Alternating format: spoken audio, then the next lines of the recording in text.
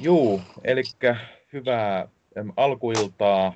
Eli tässä nyt on, ollaan Vantaan rauhanpuolustajien rauhanklubissa. Hyvää maaliskuun loppua kaikki. Vähän harmaata, mutta sa- saadaan tässä kuitenkin varmasti ihan aurinkoinen fiiliskin, vaikka, vaikka teema ei olekaan niin aurinkoinen.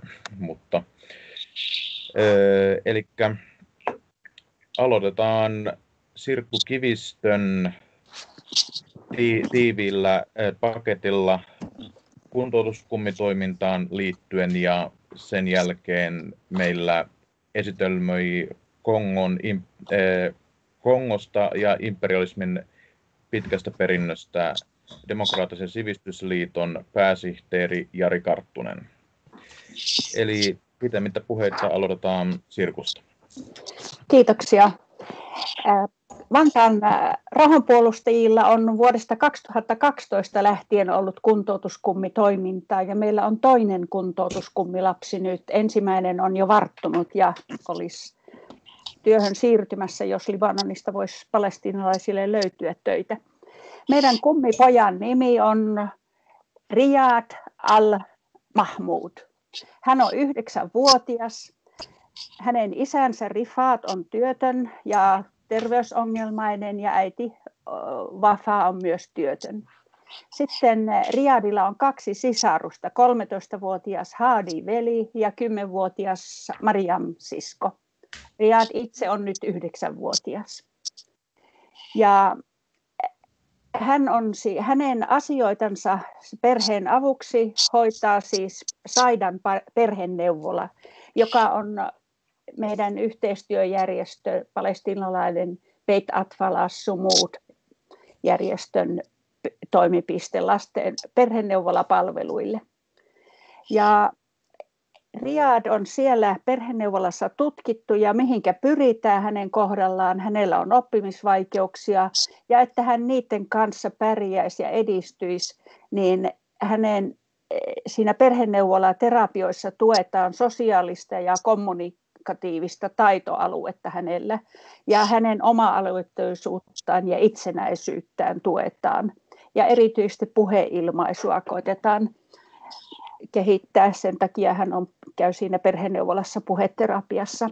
Ja nuo viimeisimmät tiedot on, että hän on näissä tavoitealueissa niin kuin edistynyt, että voidaan kummi, me kuntoutuskummit olla iloisia siitä.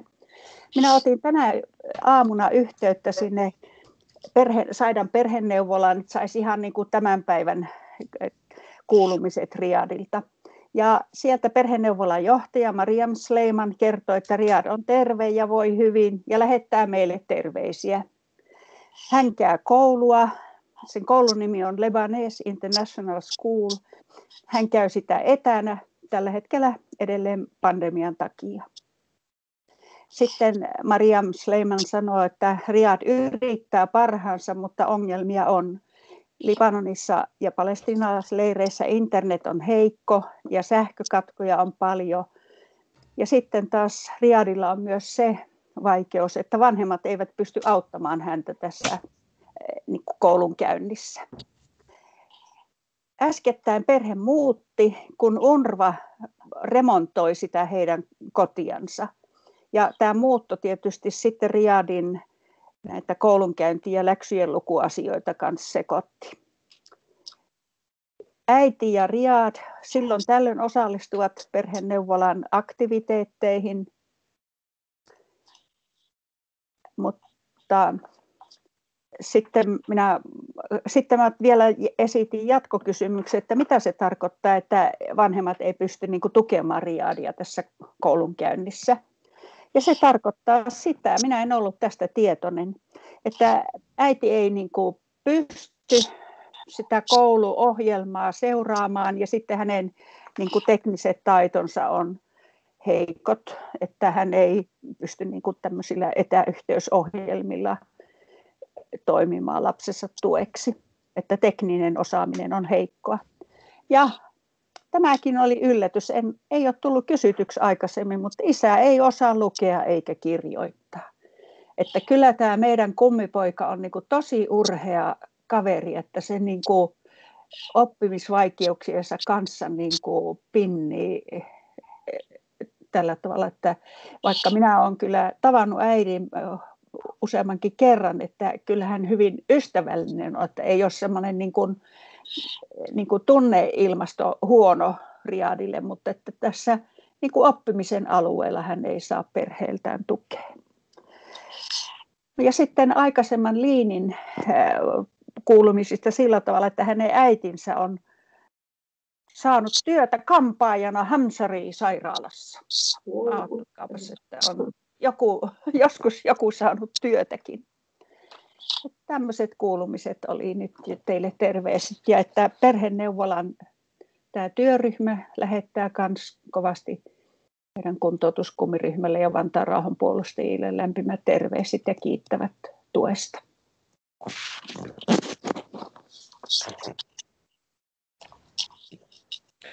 Joo, kiitoksia paljon Sirkku terveisistä. Olisiko jollakulla tässä vaiheessa kysymyksiä? Olisiko Jarilla esimerkiksi liittyen tuohon kuntoutuskummitoimintaan? Mä en tiedä, oot, sä kuullut tästä miten paljon? Olen kuullut, että tämmöistä toimintaa on. Ymmärsikö oikein, että hän on niin Palestiinasta? Kyllä, joo, että Libanonissa pakolais, Libanonin palestiinalaispakolaisväestöä on. Että jostakin päin Palestiina on perhe. Tuo tuleekin nyt kysymys, että minun pitää seuraavaksi kysyä, että mistä se hänen perheensä on niin kuin Palestiinassa kotoisin.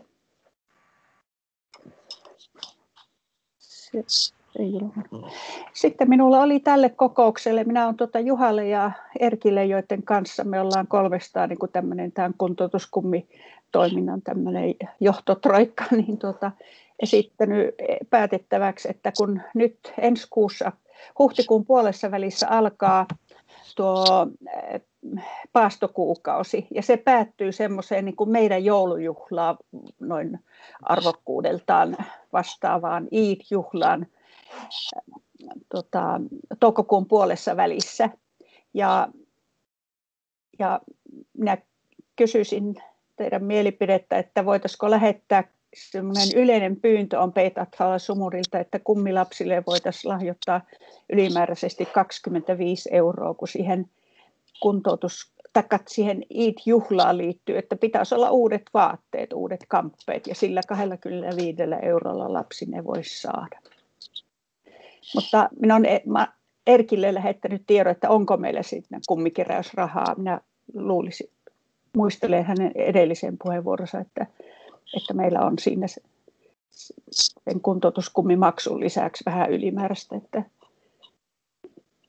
nyt Erkki ei ole vielä mukana, mutta että mitäs jos hän sanoo, että on rahaa, niin voidaanko maksaa siitä kummikeräyksestä ylimääräisesti 25 euroa? Mun puolesta il, ilman muuta, että saa, saa kun, kuntoutuskummi u, uudet vaatteet sitten ja mitäs sanoo muut ilman muuta. vantaalaiset? Ilman muuta. Kannatan. Kyllä. Joo. Entä Juha, kun Juha on vähän niin kuin pomomies tässä kuntoutuskummiasiassa, niin sanoitko sä jotakin?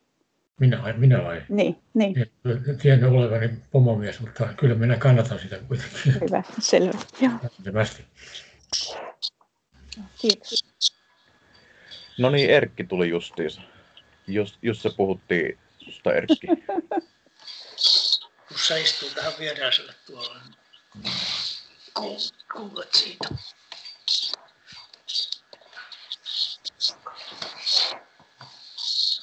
En, niin mitäs, Sirkku, hal, haluaisit sä toistaa kysymyksen nyt, niin. kun Erkki on tässä vielä? Niin Erkki, minä olen tässä kertonut Riadin kuulumiset ja minä kirjoitan ne kyllä tuota paperille, että voidaan lähettää kaikille koko kummiryhmän jäsenille, kuntoutuskummiryhmän jäsenille. Mutta tätä kokousta varten minulla olisi kysymys, että voidaanko Riadille lähettää Eid-juhla äh, lahjarahaa. Se jos, niin pää, jos niin päätetään, niin totta kai voidaan. No niin, selvä. Palaan asiaan sinun kanssa, kun sinä olet rahamies. Niin, ja tässä juuri ennen kuin sinä tulit, niin täällä oli useampi puheenvuoro, joka kannatti tätä ajatusta.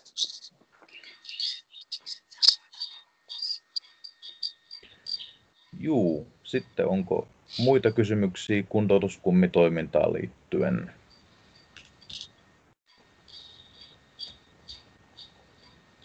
En tällä hetkellä näe käsiä pystyssä kamerassa enkä, enkä täällä chatissa, niin tuota, pääsetään siinä tapauksessa ääneen Demokraattisen sivistysliiton pääsihteeri Jari Karttunen aiheenaan Kongo ja imperialismin pitkä perintö. Ole hyvä Jari. Kiitos Heikki. Areena on sun. Eli nyt siirrytään yhdeltä imperialismin niin, tota, niin uhrien alueelta toiselle. Eli niin, tota, ihan ensimmäisenä tärkeimmät kuulijat, niin haluaisin kysyä semmoista, että Oletteko koskaan kuullut semmoista väitettä, vaikkapa joka kulkee tämän kaltaista ajattelumallia, eli vaikkapa, että Afrikan ongelmat ovat afrikkalaisten itsensä aiheuttamia. Oletteko koskaan kuulleet tämmöiset väitteet? Kyllä vähän vissiin kuullut semmoisia puheita. Ei tässä, oletteko koskaan kuullut väitettä, että niin on pakko olla afrikkalaisten omia, koska siirtomaavalta loppui jo XXX vuotta sitten. Tämmöinenkin väite on ehkä joku saattanut kuulla. No tuo ja, on jo hirmu tietomäärää vaativa väite, että en ole kuullut. Mm. Ja sitten joskus esiintyy myöskin sellaisia väitteitä, että aika yleisesti heti tämän jälkeen tulee, että koska joka tapauksessa Suomi ei ole mitenkään liittynyt tähän asiaan millään tavalla, niin suomalaisilla ei ole mitään vastuuta mistään. Tämä on myöskin semmoinen aika yleinen väite. Kyllä. Näin on sanottu. No, tässä ainakin on vähän semmoinen juttu, että niin valitettavasti, jos sitä käyttää semmoista poliitikon kieltä, niin nämä ovat muunneltua totuutta kerrottuja niin väitteitä ja kaikki. Ja arkikielisemmin puhuttuna voisi sanoa, että ne ovat suoraan sanottuna pääpiirteissä valheita, ainakin hyvin suuria yksinkertaistuksia vähintäänkin. Eli niin, jos tätä rupeaa niin miettimään, eikä mistä tässä nyt niin tässä esityksessä kysymys, niin tämä aihehan oli siirtomaa, tällainen imperialismin pitkä varjo, niin tätä käsitellään niin Kongon kautta. Ja joku voisi kysyä, että miksi Kongo juuri niin kuin koska onhan imperialismilla paljon muitakin tämmöisiä uhrialueita ja niin poispäin, mutta Kongolla saattaa olla kyseenalainen kunnia olla koko tämän imperialistisen järjestelmän kaikkein niin, tota, pahiten kaltoon kohtelemaa alueen maapallolla ja sen kansalla on näin ollen hyvä tämmöinen niin tuota pohja ehkä väittää olevansa maailman kärsineimpien niin tuota, ihmisten joukossa. Toki, toki tämä niin Kongo ei ole mikään yksi oikeutettu tähän titteliin, eikä muillekin porukalla voi olla mielessä, mutta itse en näe siirtomaan historia, historiallisena ei keksi yhtään pahemmin sorrettua aluetta tällä hetkellä. En sano, että tämä voi tapahtua, ja monilla muilla on varmasti voi olla muita kokemuksia. Ja ihan tässä niin tämän esityksen aluksi minä haluan muistuttaa sen, että, niin, tota, että minun näkemykseni tähän aiheeseen on niin sanottu tämmöisen maallikkoakateemikon juttu, eli en ole varsinaisesti Kongon tai Keski-Afrikan historian mikään tämmöinen niin, tota, asiantuntija, vaikka olenkin paljon tästä lukenut ja perehtynyt oman kiinnostuksen takia. Ja, niin, tota, mutta kuitenkin mä olen niin, tota, että sen lisäksi, että olen demokraattisen sivistysliiton pääsihteeri, niin minä olen myöskin siirtomaahistorian ja Afrikan historian maisteri, eli niin, tota, jonkinlaisia tulkintoja minä uskallan esittää tästä imperialismista ja tästä niin, tota, niin Kongon tilanteesta. No, sitten tämmöistä ihan perinteisesti hommat, eli täytyy muistaa, että minä olen niin, käsittelen tätä asiaa ulkopuolisena, en kongolaisena, eli niin, tota, nämä tulkinnat ovat tämmöisen länsimaalaisen tutkijan näkemyksiä. Ja niin, tässä vaikka minä nyt piirränkin tässä niin aika kurjan kuvan Kongon historiasta juuri tämän siirtomaavallan takia, niin mä en halua mitenkään sanoa sitä sillä tavalla, että niin, tota, Kongo olisi lopessa kurja valtio ja että sen kaikki ihmiset olisivat kokeneet tämän ajan ihan niin kuin, sille, niin, tota, samalla tavalla. Eli, eli niin, jotkut ihmiset ovat hyötyneet tästä imperialismin prosessista. Sieltä Kongosta löytyy ihmisiä, jotka ajattelevat, että kuningas Leopold toisen aikaa avasi kehityksen ja niin poispäin ovet Kongossa. Ja ihmiset tottuvat vaikka minkälaisiin asioihin, eli useilla ihmisillä niin to- sillä alueella voi olla kokemuksia siitä, että he elävät normaalia elämää ja kaikki on, ollut, on niin kuin kuulukin, ja eikä se, se, se pitää täysin paikkansa. Eli, niin, tota, mutta niin yhtä kaikki niin kuin tavallaan täytyy kuitenkin havaksua se juttu, eli Kongo on mitä mainion esimerkki siitä, miten imperialismi toimii, lähes sen takia, että se on räikein esimerkki, ehkä niin sitä meillä on tarjolla. Ja koko, lähes koko Afrikka on kärsinyt vastaavanlaisesta tilanteesta, mutta niin tota, sen niin tota, on ollut ehkä hieman, useimmiten se on ollut hieman lievempää. Osalta on joutunut kokemaan yhtä pahoja aikoja, eli tämä on sellainen hyvin laaja aihe, jos on käyttää historiaa läpi ja sitten sukelletaan vähän syvemmälle tähän hommaan, mutta multa saa sitten kysymyksiä tässä matkan varrella, eli onko mitään niin kuin, kysymyksiä herännyt äkkiseltä, jos jollakin on, niin kysykää vapaasti ja saamme keskeyttää. Heikki näyttäisi olevan siellä sanomassa. Joo, mul, mul tuli mieleen tuosta, kun sanoit, että siellä Kongossa saattaa niin kuin olla sellaisia näkemyksiä, että niin kuin, so, ö, niin kuin sanoit, että tota, ka, kaikkeen niin kuin ötottuu niin sanotusti, että on, on niin kuin kongolaisilla näkemystä, että siirtymäaika ei ehkä ollut niin, niin paha tai sillä tavalla, niin onko se niin semmoisia poliittisia puolueita, jotka on, niin kuin, vai onko tämä sitten niin tämmöistä yksi, yksittäisihmisten ajattelua, jotka niin, niin kuin näkee tämän? Mm. No se tota, koko tämä poliittinen järjestelmä on aika monimutkainen ja sekaava, joten tota, siellä epäilemättä löytyy ovat bisnesmiestensä puolueet, jotka ovat Kinshasan eliittiä ja niin poispäin. Niillä voi olla omat näkemykset siitä, miten yhteiskunnan kuuluisi olla. Ja myöskin Katangan kaivosalueella suoraan tämän niin tota, elantossa saavat ihmiset kaivostoiminnasta ja jonkinlaisessa asemassa olevat, niin varmasti nauttivat tästä ajattelin, että tämä oli niin kehityksen alku heidän alueensa, mutta tämä kaltaista ajattelumallia. Ja tosiaankin tuo, tuo ruudulle tuli kysymys tuossa äsken, niin me tullaan niin sivuamaan tätä aihepiiriä. Eli mä lähden tässä nyt tähän liikkeeseen vähän niin kertomalla tämän Afrikan ja ennen kaikkea Kongon alueen historia joka ehkä valottaa sitä, että minkälainen, minkälaista imperialismi on silloin, kun se iskee todella lujaa johonkin alueeseen. Eli ihan, ihan tämmöinen peruskeskustelu tässä, että alkuun vähän niin kuin Afrikasta näin niin kuin yleisesti. Eli on ymmärretty, että Afrikalla on hyvin, hyvin pitkä historia. Se, sen kaikki tietää, ihmislaji on sieltä kotoisin ja niin poispäin. Ja Afrikan asema maailmassa oli aikoinaan erilainen kuin se oli nykyisin. Eli jos mietit vaikkapa mennään keskiajalle, niin silloin oli semmoinen kuin Malin imperiumi, joka oli sen 1300-luvun paikkeilla, niin se oli maailman toiseksi rikkain valtakunta.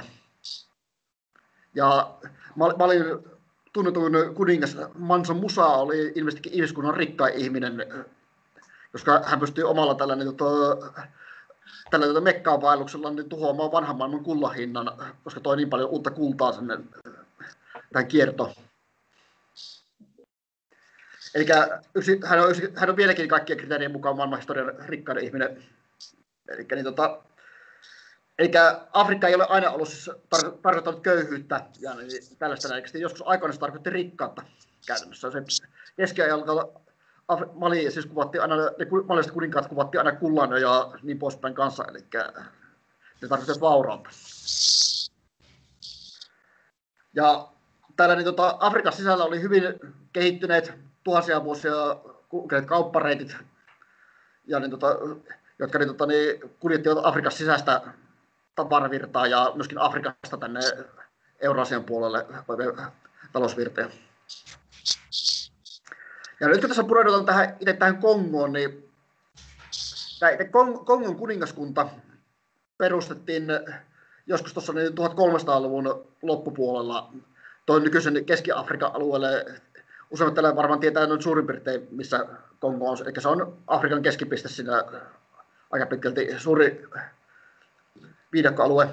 tämä Kongon kuningaskunta oli silloin 1400-luvun alkupuolella suurin piirtein samankokoinen kuin Ranska, Espa, Saksa ja Espanja nykypäivänä yhteensä. Eli niin, tota, se ei ollut mikään pieni valtakunta nykyisten termien mukaan. Ja aikakauden eurooppalaisten valtioiden mukaan se oli huomattavan kookas. No, tämä Kongon valtakunta niin kesti, oli olemassa tosiaan 1390-luvulta vuoteen 1857, jolloin se tuli aluksi tämän Portugalin jonkinlainen vasalli. Ja vuonna 1884 sitten annettiin Belgian kuningas Leopold toisen henkilökohtaiseksi omistukseksi, mihinkä palaamme myöhemmin vähän enemmän. Ja niin, tota, se, tota, niin, tämä Kongon kuningaskunta oli jonkinlainen alueellinen, ja siinä vaiheessa kun eurooppalaiset rupesivat ensimmäisen kerran saapumaan Afrikan rannoille, niin tämä Kongon kuningaskunta oli yksi ensimmäisiä paikkoja, joka aloitti sen kirjeenvaihdon eurooppalaisten hallitsijoiden kanssa. Eli tämä, niin, tota, Kongosta lähti kuninkaan poikia opiskelemaan piispaksi tänne Portugaliin. Oliko se Espanja, en muista tarkkaan, mutta kuitenkin. Ja se maan, maan hallitsijasuku päätti ottaa kristiuskon yhdeksästä uskonnostansa ja Kongosta tuli pintapuolisesti kristitty valtio, mikä ei tietysti koskaan läpäissyt aivan täydellisesti sitä kongolaista yhteiskuntaa, mutta kuitenkin. No, sitten kuitenkin ajat alkoi muuttumaan, eli kun ruvetaan saapumaan 1500-luvulle, niin näitä eurooppalaisia alkoi liikkumaan enemmän Afrikan rannikolla. Ja tässä kohtaa voin aloittaa, voimme katsoa, kun puhutaan imperialismin pitkästä tämmöistä varjosta, niin tämä imperialismin ensimmäinen kausi voidaan katsoa alkavan tästä ajasta. Elikkä, ja se, siihen on hyvin olennaisena osana liittyy tämä käsite nimeltä tämä orjakauppa, mikä on ehkä tämä varhaisen imperialismin kaikkein tämmöinen tuhoisin ja kestävin perintö. Ja se oli myöskin jonkinlainen sykäys sille, että miten eurooppalainen maailmankauppa ja tämä niin lähti käyntiin. Eli en tiedä, oletko koskaan kuullut käsittää kolmiokauppa. Ymmär, ymmärrättekö sen käsitteen? Tarvitseeko selittää? No, kolmiokauppa... Hmm? JPllä niin tota, ei kuulu ääntä.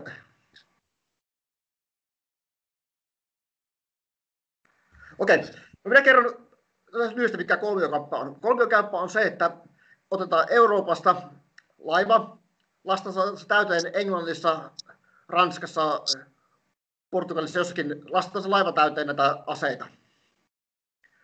Ajetaan se länsiran, Afrikan länsirannikolle, Länsi-Afrikkaan tai Keski-Afrikkaan, ja sen jälkeen nämä aseet myyvät paikallisille hallitsijoille näitä orjia vastaan. Ja nämä orjat laivataan tänne Amerikkoihin, Amerikkoihin, niin tota, eli Karibialle, Pohjois-Amerikkaan, Etelä-Amerikkaan, ja täällä ostetaan näillä orjilla erilaisia plantaasituotteita, joita orjatyövoimalla sillä, niin, tota, niin, niillä plantaasilla viljellä. Ja selkeän tämä laiva tässä lastissa ajetaan tänne Englantiin ja myydään ne, myydään tota, plantaasituotteet siellä. Ja isolla tällä rikastutaan ja samalla ostetaan uusi lasti aseita ja toistetaan tämä sama kuorma. Eli tämä on niin se tapa, millä Afrikka 1500-luvusta eteenpäin liitettiin maailmankauppaan. Eli niin, koska eurooppalaiset pääsääntöisesti halusivat nimenomaan, orjat oli se tuote, mitä eurooppalaiset halusivat Afrikasta, niin se, niin, tota, niin, se johti myöskin siihen, että niin tämä afrikkalainen talous niin typistyi, tämä, se alkoi muuttumaan enemmän enemmän tämän orjakaupan ympärille, kun saavutti 1600-luvulla. Eli eurooppalaisten tuotantokeskukset ja nämä kilpailivat yhtä aikaa niin tavallaan niin afrikkalaisten tuotteiden kanssa siellä. Paikalliset ihmiset, hallitset halusivat ennen kaikkea aseita. Jotta sä sait aseita, sun piti ostaa niitä orjilla. Jotta sulla oli or, orjia, niin sä tarvitsit aseita, että sä pystyt sotimaan sisämaan näitä kansoja vastaan ja ottamaan niitä orjiksi. Ja tämä mekanismi niin johti siihen, että niin, tota, nämä afrikkalaiset rannikkojen kuninkaat, siellä oli monia sellaisia niin ihan afrikkalaisia orjavaltakuntia, kuten Dahomey ja Benin ja muutamia muita tällaisia, jotka niin kävi, ne teki melkoista, melkoista vaurautta tekivät itsellensä itse asiassa tämä orjakaupan ympärillä. Mutta se hinta oli kova ja se jatkuva, niin kuin, että ensinnäkin, että Afrikan väkiluku pysähtyi vuosisadoissa, koko orjakaupan ajas pysähtyi käytännössä kokonaan, koska niin, tota, ylijäämä ihmiset roudattiin läntisestä ja keskisestä Afrikasta varsinkin tänne meren taakse. Orjakauppahan on vanha asia sinällä, että Afrikassa sillä on saanut tuhansia vuosia harjoitettu, mutta vasta kapitalismin varhainen aika niin teki sitä ka- orjakaupasta tämmöisen niin kapitalismin tyylisesti kaupallisen massateollisuuden jutun. Toinen iso orjakaupan halto oli tämä niin sanottu itäinen orjakauppa, mikä meni sitten tänne Lähi-Itään. Eli se, se taas, mutta se ei koski enemmän, niin se oli Keski-Afrikka ja Itä-Afrikka köyhytti sitten se orjakaupan muoto. Mutta tämä Atlantinen orjakauppa, niin tämän merkitys oli enemmän, jos puhutaan imperialismista, niin tällä oli enemmän merkitystä sen kehittymisen kannalta. Eli nyt kun nämä, niin, tota, nämä niin, tota, eurooppalaiset tämä niin, tota, orjakauppasysteemi tuli, niin se tosiaankin häiritsi noita Afrikan kauppareittejä. Afrikkalaisten valtakuntien talous alkoi pyörimään yhä enemmän ja enemmän tämän niin, tosissaan niin, tota, orjakaupan ympärillä.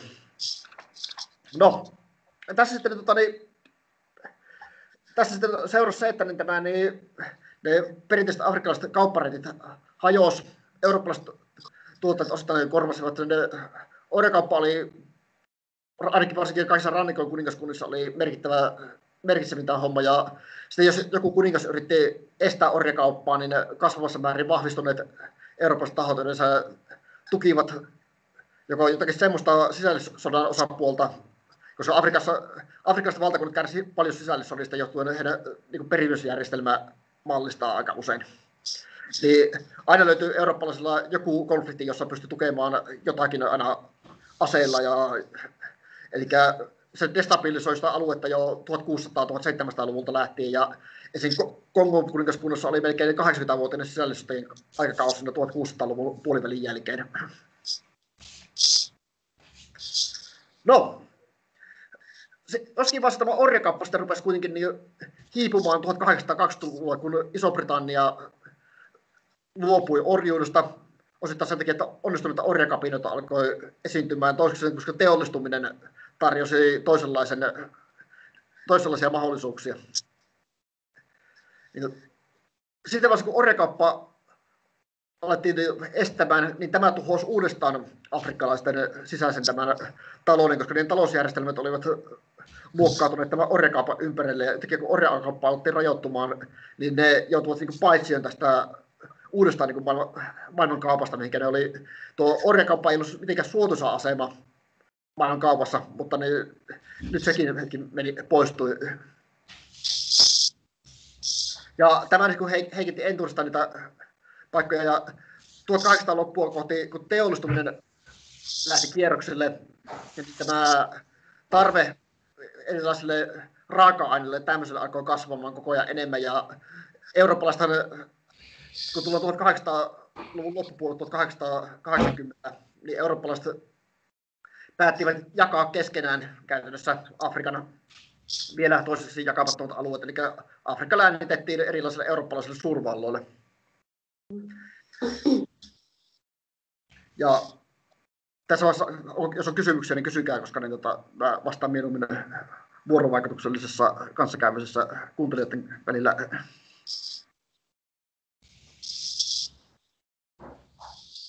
Heikki nostaa kättänsä.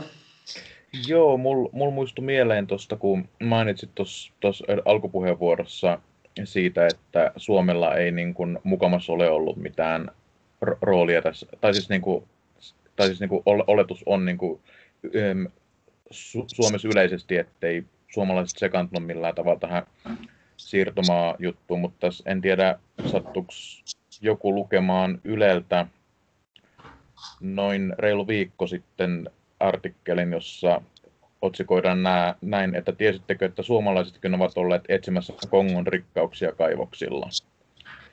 Eli kyllä tässä suomalaisetkin on ollut ja on, on varmasti, että en, en tiedä näkyykö tollanen. No ei, ei se nyt hirveästi näy, mutta juu.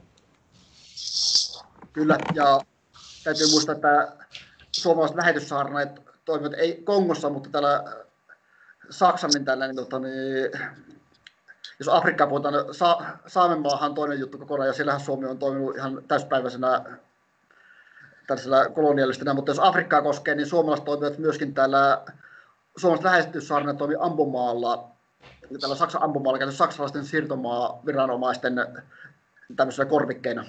Eli ne, toki, toki ne sillä toimivat sorttajina Saksan siirtomaa imperiumille, mutta kuitenkin. No, kuitenkin tilanne on se, että koska tämä Kongo-alue oli niin kuin, vähän niin kuin kaikkien näiden isojen imperiumien alueiden välissä, ja ne ei pystynyt sillä hetkellä oikein päättämään, että miten tämä alue jaettaisiin Ranskan, Iso-Britannian ja Saksan välillä, niin päätettiin tämmöinen elegantti väliaikaisratkaisu, eli se annettiin tämmöiselle puolueettomalle, puolueettomalle henkilölle, se nimeltä kuningas Leopold II, joka niin, tota, että se kehittelisi, kehittäisi Kongoa ja olisi Kongon suojelija ja kongolaisten tämmöinen tota, niin, sivistäjä ja suuri valkoinen isä niin näille ihmisille tällä nänikkästi. Onko kukaan kuullut, kuullut Leopoldista jotakin? Se, se on hiljalleen alkaa niin tuota valuamaan tietoisuuteen, koska tämä oli aivan uudenlaisen painajaisen alku Kongo ihmisille. Ja Leopoldistahan voi niin sillä sanoa aika lailla hyvällä omatunnolla, että se, hän kuuluu niin ihmiskunnan suurten hirviöiden joukkoon. Ja voi, voi niin tuolla, toki kysyntää on, mutta voisin väittäisin, että kuningas Leopold II on myöskin suurin puhtaasti kapitalistisen, niin tota, kapitalistinen hirviö, sanotaanko näin äkkiseltä. Eli kuningas Leopoldin niin tämä niin tota, jäljiltä Kongossa niin tota, suoritettiin kansojen, kansojen murha, joka tappoi 10-16 miljoonaa kongolaista, eli noin puolet Kongon väkiluvusta silloista, mikä oli tämä kuningas Leopoldin hallituskausi. Eli tämä Kongo oli siis Leopoldin oma henkilökohtainen omistus. Se ei ollut siirtomaa samalla tavalla kuin useimmat ihmiset ymmärtävät siirtomaat. Se oli siis tosiaankin se oli Leopoldin iso tontti. Kooltaan samankokoinen kuin Espanja, Ranska, Saksa, Italia ja Puola ja Sveitsi löytynä yhteen. Ja tämä tota, niin Leopoldin kutsuminen ahneeksi on vähän sama kuin kutsus vaikkapa Tyntä valtamerta vähän kosteaksi. Eli se, tota, niin, tota, häikäilemättömästi sen 20 vuoden aikana, mitä sillä oli, niin se ryöväsi ja eikä, se ko- keräsi kaikkia kongolaisia, palkkastureita, eurooppalaisia onneonkioita, kaikenlaisia seikkailijoita ja, ja lähetti ne niin kuin, ryöväämään Kongon luonnonvaroja ennen kaikkea, ja riistämään niitä paikallisia asukkaita. Ennen kaikkea kumi oli tämä asia, mistä Leopold oli viehättynyt. Eli, mä nyt, eli tämä Leopoldin hallituskausi niin tämä tuhosi aivan täydellisesti Kongon tämän yhteiskunnan. Tästä voi antaa sellaisen anekdootin siitä, että tämä, niin, että tämä Kongon perinteinen tämmöinen, mitä on niin raportoitu niin sanottuja Kongon kauhuja, mitkä oli siis, ne kammottivat jopa 1900-luvun alkupuolen näitä ihmisiä, jotka ei siis ollut mitenkään hirveän herkkiä alkuperäiskansojen kärsimykselle, eivätkä rasismin suhteen mitenkään niin tämmöisiä muutenkaan herkkiä eivät ole, mutta niin, jopa niitä niin oksatti nämä, mitä siellä tapahtui. Eli otetaan vaikka esimerkki Leopoldilaista kuminkeräysretkestä, niin siinä niin tota, ne Morse Publicue, joka oli Leopoldin niin yksityisarmeija, niin se tuli kylään, kylän naiset otettiin semmoisen puuhun, sidottiin kiinni semmoisen pölkkyyn, ja sitten tota, miehet keräsivät se kumi, mitä ne oli kerännyt sinne, ja sitten se punnittiin, ja sitten niin sen verran, kun sitä kumia niin tota, jäi puuttumaan, niin sen verran niin tota, hakattiin lihaa irti niistä naisista, mitkä oli siinä pölkyssä. Ja tämä Kongo, Kongo, Kongon vapaa-valtio tunnettiin myöskin näistä niin tota, julmista niin pakkoamputaatioista, koska irtileikatusta käsistä tuli sille käytännössä eräänlainen valuutta koska tämä niin, tota, Leopoldin siirtomaan viranomaiset niin vaati ammu, ammuksia pysty ostamaan sitä vastaan, että oli todistusti käytetty jotakin, jotakin niin tavallaan niin, tota, afrikkalaista vastaan oli käytetty sitä ammuksia, niin, niin irtileikattu käsi oli semmoinen, mitä, mitä myytiin kauppa-asemilla ja täällä ei pysty ammuksia vastaan pysty niin kuin, saamaan niitä. Ja tämä, niin, tota, tämä, niin, jos sitä miettii niin, tavallaan, niin että se kumihomma, se homma oli että minkälaisen aiheutti, koska kun nämä rangaistukset on tämän kaltaisia, niin ainut keino, millä pystyy käytännössä selviämään niistä kumikiintiöistä, niin oli se, että sun piti ryöstää niitä naapuriyhteisöltä. Ja tämä tarkoitti sitä, että niin, tota, sillä Kongossa vallitsi semmoinen jatkuva myöskin niin, tota, niin, heimosotaa niin eri porukoiden välillä, kun ne yrittivät saada itseltään niitä resursseja, että ne vois maksaa nämä niin, tota, Leo, Leopoldin miehille nämä ne kiintiönsä. Ja tämä johti sitten siihen, että kenelläkään ei ollut aikaa kasvattaa tai kerätä kumia riittävästi, eli se väheni kaiken aikaa se, mitä ne pystyttiin ryöväämään. Ja Leopold ei voi tehdä muuta kuin kiristää kiintiötä, lähettää lisää miehiä sinne keräämään veroja, mutta tämä, tämä tuhosi, tuhosi aivan täydellisesti sen yhteiskuntajärjestelmän, mikä siellä oli. Ja lopulta 1904 tämä, nämä se, nämä hommat niin levisi tänne Eurooppaan asti ja tämä Belgia, belgialaiset ottivat Leopoldilta pois tämän Kongon. Ja tämä kaikkein pahin niin ehkä tämmöinen niin, tota, hetki niin, tota, poistui tässä yhteydessä, mutta, mutta sen jälkeen tämä niin, tota, belgialainen järjestelmä sitten siirtyy niin, sitten seuraavan tämmöiseen niin kuin, imperialistisen ja se jatko tästä enemmän niin kuin perinteinen siirtomaavalta, eli Eli, eli jos niin, se, ja tässä vaiheessa aloitti niin kutsutun alikehittämisprosessin, eli mikä on tyypillinen siirtomaa järjestelmille. Eli niin, tota, jos sitä rupeaa miettimään, niin, tavallaan, niin Kongo on niin hyvin suuri alue, sen resurssit on hyvin mittavat. Sillä on niin aika iso maatalouspotentiaali, valtavat metsävarat ja valtavat mineraalivarat myöskin. Ja ennen kaikkea se 1900 10-20-luvulla, kun mennään, niin teollisuus tarvitsisi hyvin paljon. Ja onko tämä termi alikehitys tuttu? Että miten, miten alikehitys e-, eroaa pelkästään kehittämättömyydestä? No vasta, vastaus, että alikehitys on tämmöinen, että jos tämä niin, tota, imperialismi toimii, niin se joku voisi kuvitella, että niin, että se, mitä sillä rakennetaan ja tehdään, että se kehittäisi sitä maata, mutta todellisuuden käsitelmä on ainakin riippuvaisuusteorian mukaan, että se alikehittää. Eli kyllä Verkelisessä karkkikaupoissa myydään pieniä suklaakäsiä, niin tota, muistana tästä niin, siirtomaavallasta. Tämä, niin, tota, niin, eli tämä niin, alikehitys toimii sillä tavalla, että kun maa joutuu imperialismin tai tämmöisen kohteeksi, niin sen talousjärjestelmästä tehdään sellainen, että se talousjärjestelmä tuottaa voittoa siirtomaa isännälle ja rikastuttaa sitä, ja hyvin vähän sitä järjestelmällistä jääpi siihen alikehitetylle alueelle. Ja se niin johtaa sitten viime kädessä siihen, että niin, tota se, sen koko talousjärjestelmä alikehitetyssä maassa on puutteellinen tuottamaan kasvua samassa suhteessa kuin tämä niin, emämaissa. Ja tämä niin tuomitsee nämä maat semmoiseen niin, tuota, jatkuvaan niin, riippuvaisuussuhteeseen niistä imperialisteista. No. Eli niin, tota, tosikin tämä, niin, tämän pelkialaisen tämän niin, tota, niin, siirtomaavallan myötä tämä Kongo alikehitti sen, että rakennettiin rautateitä sillä tavalla, että rautateet veivät kaivosalueelta suoraan tänne niin, yhteen satamaan.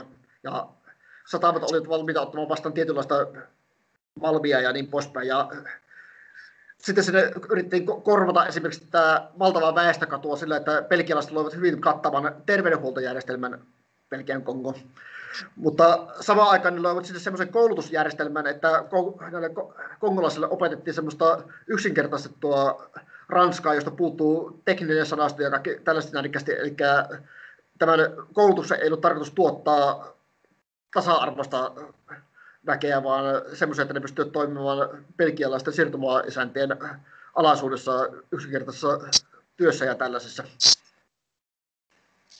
Eli tämä on just tätä alikehitystä. Tehdään pintapuolisesti kehitystä, mutta samaan aikaan se kehitys on jollakin tavalla vaurioitettua. No, Belgia toimi sen 40 vuotta Kongon siirtomaa-isäntänä. Ja tosiaankin tämä aikana se Kongon talous organisoitiin raaka-aineiden tuotannon ympärille. Sitten tämä Kongon tämä itsenäisyys tapahtui aika yllättäen, eli siinä vaiheessa kun nämä Afrikan erilaiset itsenäistymisprosessit lähti käyntiin tästä nyt toisen maailmansodan jälkeen 50-luvulla, ja belgialaisilla ne alkoi niin ymmärtämään, että niillä ei ole resursseja pitää Kongoa, jos kongolaiset päättävät ryhtyä niin, tota, vaatimaan itsenäistä ihan tosipelissä. Ja käytännössä pelkialaiset pakkasit kimpsussa ja kampsussa ja häippäsivät maasta ihan niin kuin, ilman minkäänlaista valmistelukautta tai mitään tällaista vastaavaa. Ja tämä nyt alo- sitten aloitti tämän Kongon imperialistisen kauden kolmannen vaiheen. Eli nyt puhumme, alamme puhumaan tästä uuskolonialismin aikakaudesta.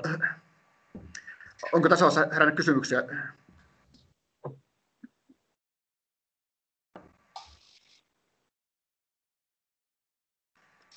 Ei näe olevan kysymyksiä. Onko uuskolonialismin käsite kaikille tälle tuttu? Pintapuolesta, jos pikasti pitäisi kertoa, niin se on se, että valtio vaikuttaa olevan itsenäinen, ja se on kaikki itsenäisyyden tämmöistä ulkoista piirteet, mutta sen talousjärjestelmä ja sitä kautta poliittinen järjestelmä on dominoitu ulkopuolelta, yleensä ottaen entiseltä siirtomaa-isännältä tai vastaavalta.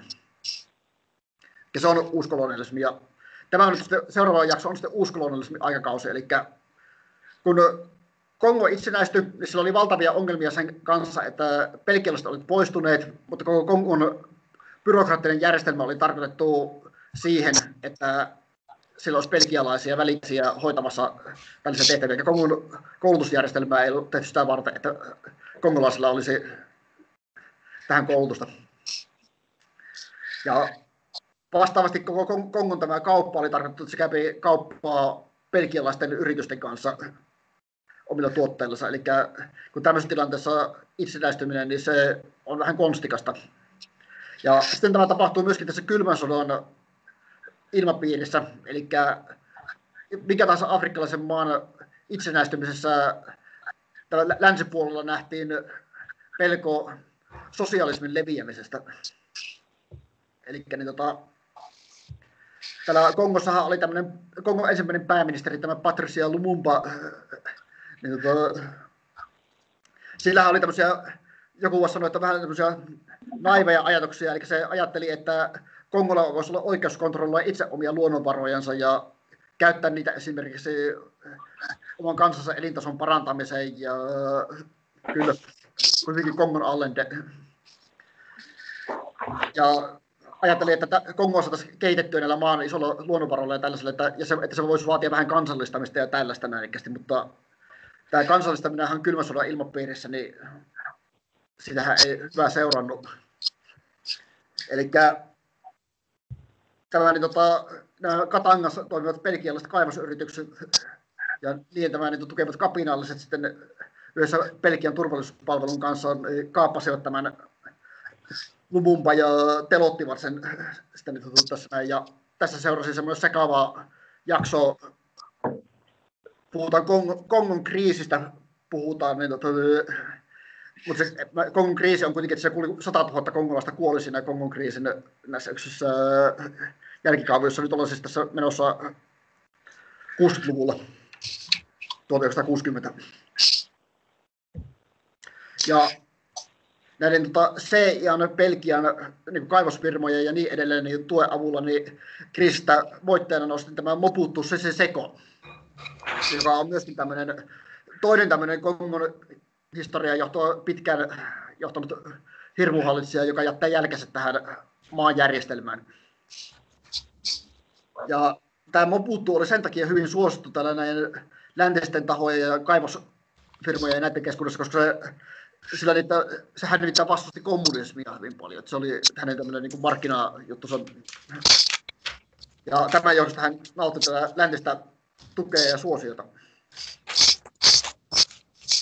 Ja tästä niin, tota, tässäpä just tästä Mobutusta tuli tämän kylmäsodan aikana semmoinen lännen ja USAn semmoinen suosikki ja erilainen kapitalismin takuumies Afrikassa. Eli Etelä-Afrikan ohella Kongo tai, Kongo tai Zaire, niin kuin se Mobutu sen sitten niin, tota, nimissä, että, että Zairehan oli semmoinen, että se oli hyperkapitalistinen, mutta samaan aikaan semmoinen afrikkalaisnationalistinen ja niin poispäin. Todellisuushan sitä ollaan kuvattu, tämän Mobutun hallinnolle on nimetty, nimettiin aivan oma talousjärjestelmä tai hallintojärjestelmä, eli kleptokratia on Mobutun hallinnolle annettu nimitys, eli varkaiden valta. Eli tämä niin, tota, Mobut oli tavallaan aika lailla sama, samalla niin kuin tämmöinen tota, Leopold, vähemmän verinen tosin, mutta niin, tota, niin, kuitenkin se yhä edelleenkin oli, että Moputtu käytti Kongoa käytännössä yksityisenä tämmöisenä nautintoalueella. Eli tilanne toimi sillä, että Moputtu antoi näille, näille, näille kaivosfirmoille näille ja kaikille firmoille äärimmäisen avokätisiä tarjouksia raaka-aineista ja kaikesta tällaista. Ja sitten nämä raaka-aineet ja lisäksi ne kaikki tuotto, mitä tuli, ne ohjattiin Moputun pankkitilille ja Moputu ohjasi ne sitten tälle omalle pikku lähipiirillensä. Eli tämä oli niin nepotismin ehkä jonkinlainen äärimmäinen muoto. Ja luultavasti Mobutu se seko, sekosta on yleensä, että hän on yksi harvoja historian tämmöisiä niin tota, valtionpäämiehiä, joka olisi pystynyt tämän valtio, oman valtionsa valtionvelan maksamaan kokonaan pois omalla pankkitilinsä tällä sisällöllä. Ja my, myöskin niin, tota, kaikki tämä niin, tota, kansainvälinen kehitysapu ja tämmöinen niin ohjattiin Moputun pankkitilille. Eli voisi sanoa, että niin, tota, tämä, tämä niin, tota, perinne, niin, tota, tämä, tämä tilanne vaikutti myöskin aika paljon tähän Kongon niin, tota, itsenäisyyden ajan kehitykseen tässä Ja tässä, miten tämä imperialismi liittyy tähän sitten suoraan, niin tämä imperialismi hirveän tyypillistä on se, että koska se, puhumus on usko, tästä, tästä niin, tota, uuskolonialismista ja uusimperialismista, niin sillä on tyypillistä, että valtiota virallisesti johtaa joku, joka on riittävän vahva länsimaiden tai imperialisten tuella, että se pystyy pitämään järjestystä siinä maassa niin, että ei tule ongelmia raaka-aineen tuottamiseen tämän suhteen, mutta on niin heikko, että ei koskaan pysty varmasti erkaantumaan tästä ketjusta. Ja tämä niin näkyy kaikkialla muuallakin Afrikassa on vähän samanlaisia merkkejä, eli koska tämä järjestelmä suosii tämmöistä nepotis, nepotismia, eli tämmöistä lähipiirin suosimusta ja tämmöistä näin, niin se niin kuin käytännössä johtaa erilaisia tämmöisiä niin kuin, levottomuuksia ja vallan perimistä ja äärimmäistä köyhyyttä. Et se on niin se, mikä niin, johtaa levottomiin tämmöisiin juttuihin. Ja eikä tämä Kongo, niin tota, Kongo kärsi niin kuin, ehkä niin kuin alikehityksestä niin kuin äärimmäisessä mittapuussa, eli niin kuin, tämä, niin kuin, tämä oli paljon syvempi vielä kuin monien muiden maiden vastaava. Vieressähän oli tämä Kongon tasavalta, joka oli eräänlainen sosialistinen projekti ja huomattavasti onnistuneempi projekti itse asiassa Afrikassa, mutta Maailmanpankki sitten kielti niitä enää olemasta sosialisteja sitten siinä 90-luvulla. No, kuitenkin kun tämä kylmä sota päättyi 1990 tai kenen jälkeen tauolle, niin tämä niin, to, läntisen tuen tarve pitää yllä tämmöisiä nepotista diktatuuria, jopa tämmöisiä despottia, niin lakkasi ja ei se kestänyt kovin pitkään, kun tämä tilanne räjähti täysin käsin täällä Kongossa. Että, mitenkäs olisi, että jos niin, tota, niin, että äkkiseltään kysyttäisiin, niin, tota, niin, niin tulisiko teille mieleen, että mikä on toisen maailmansodan suuri laajimmalla alueella käyty ja niin, tota, verisin konflikti?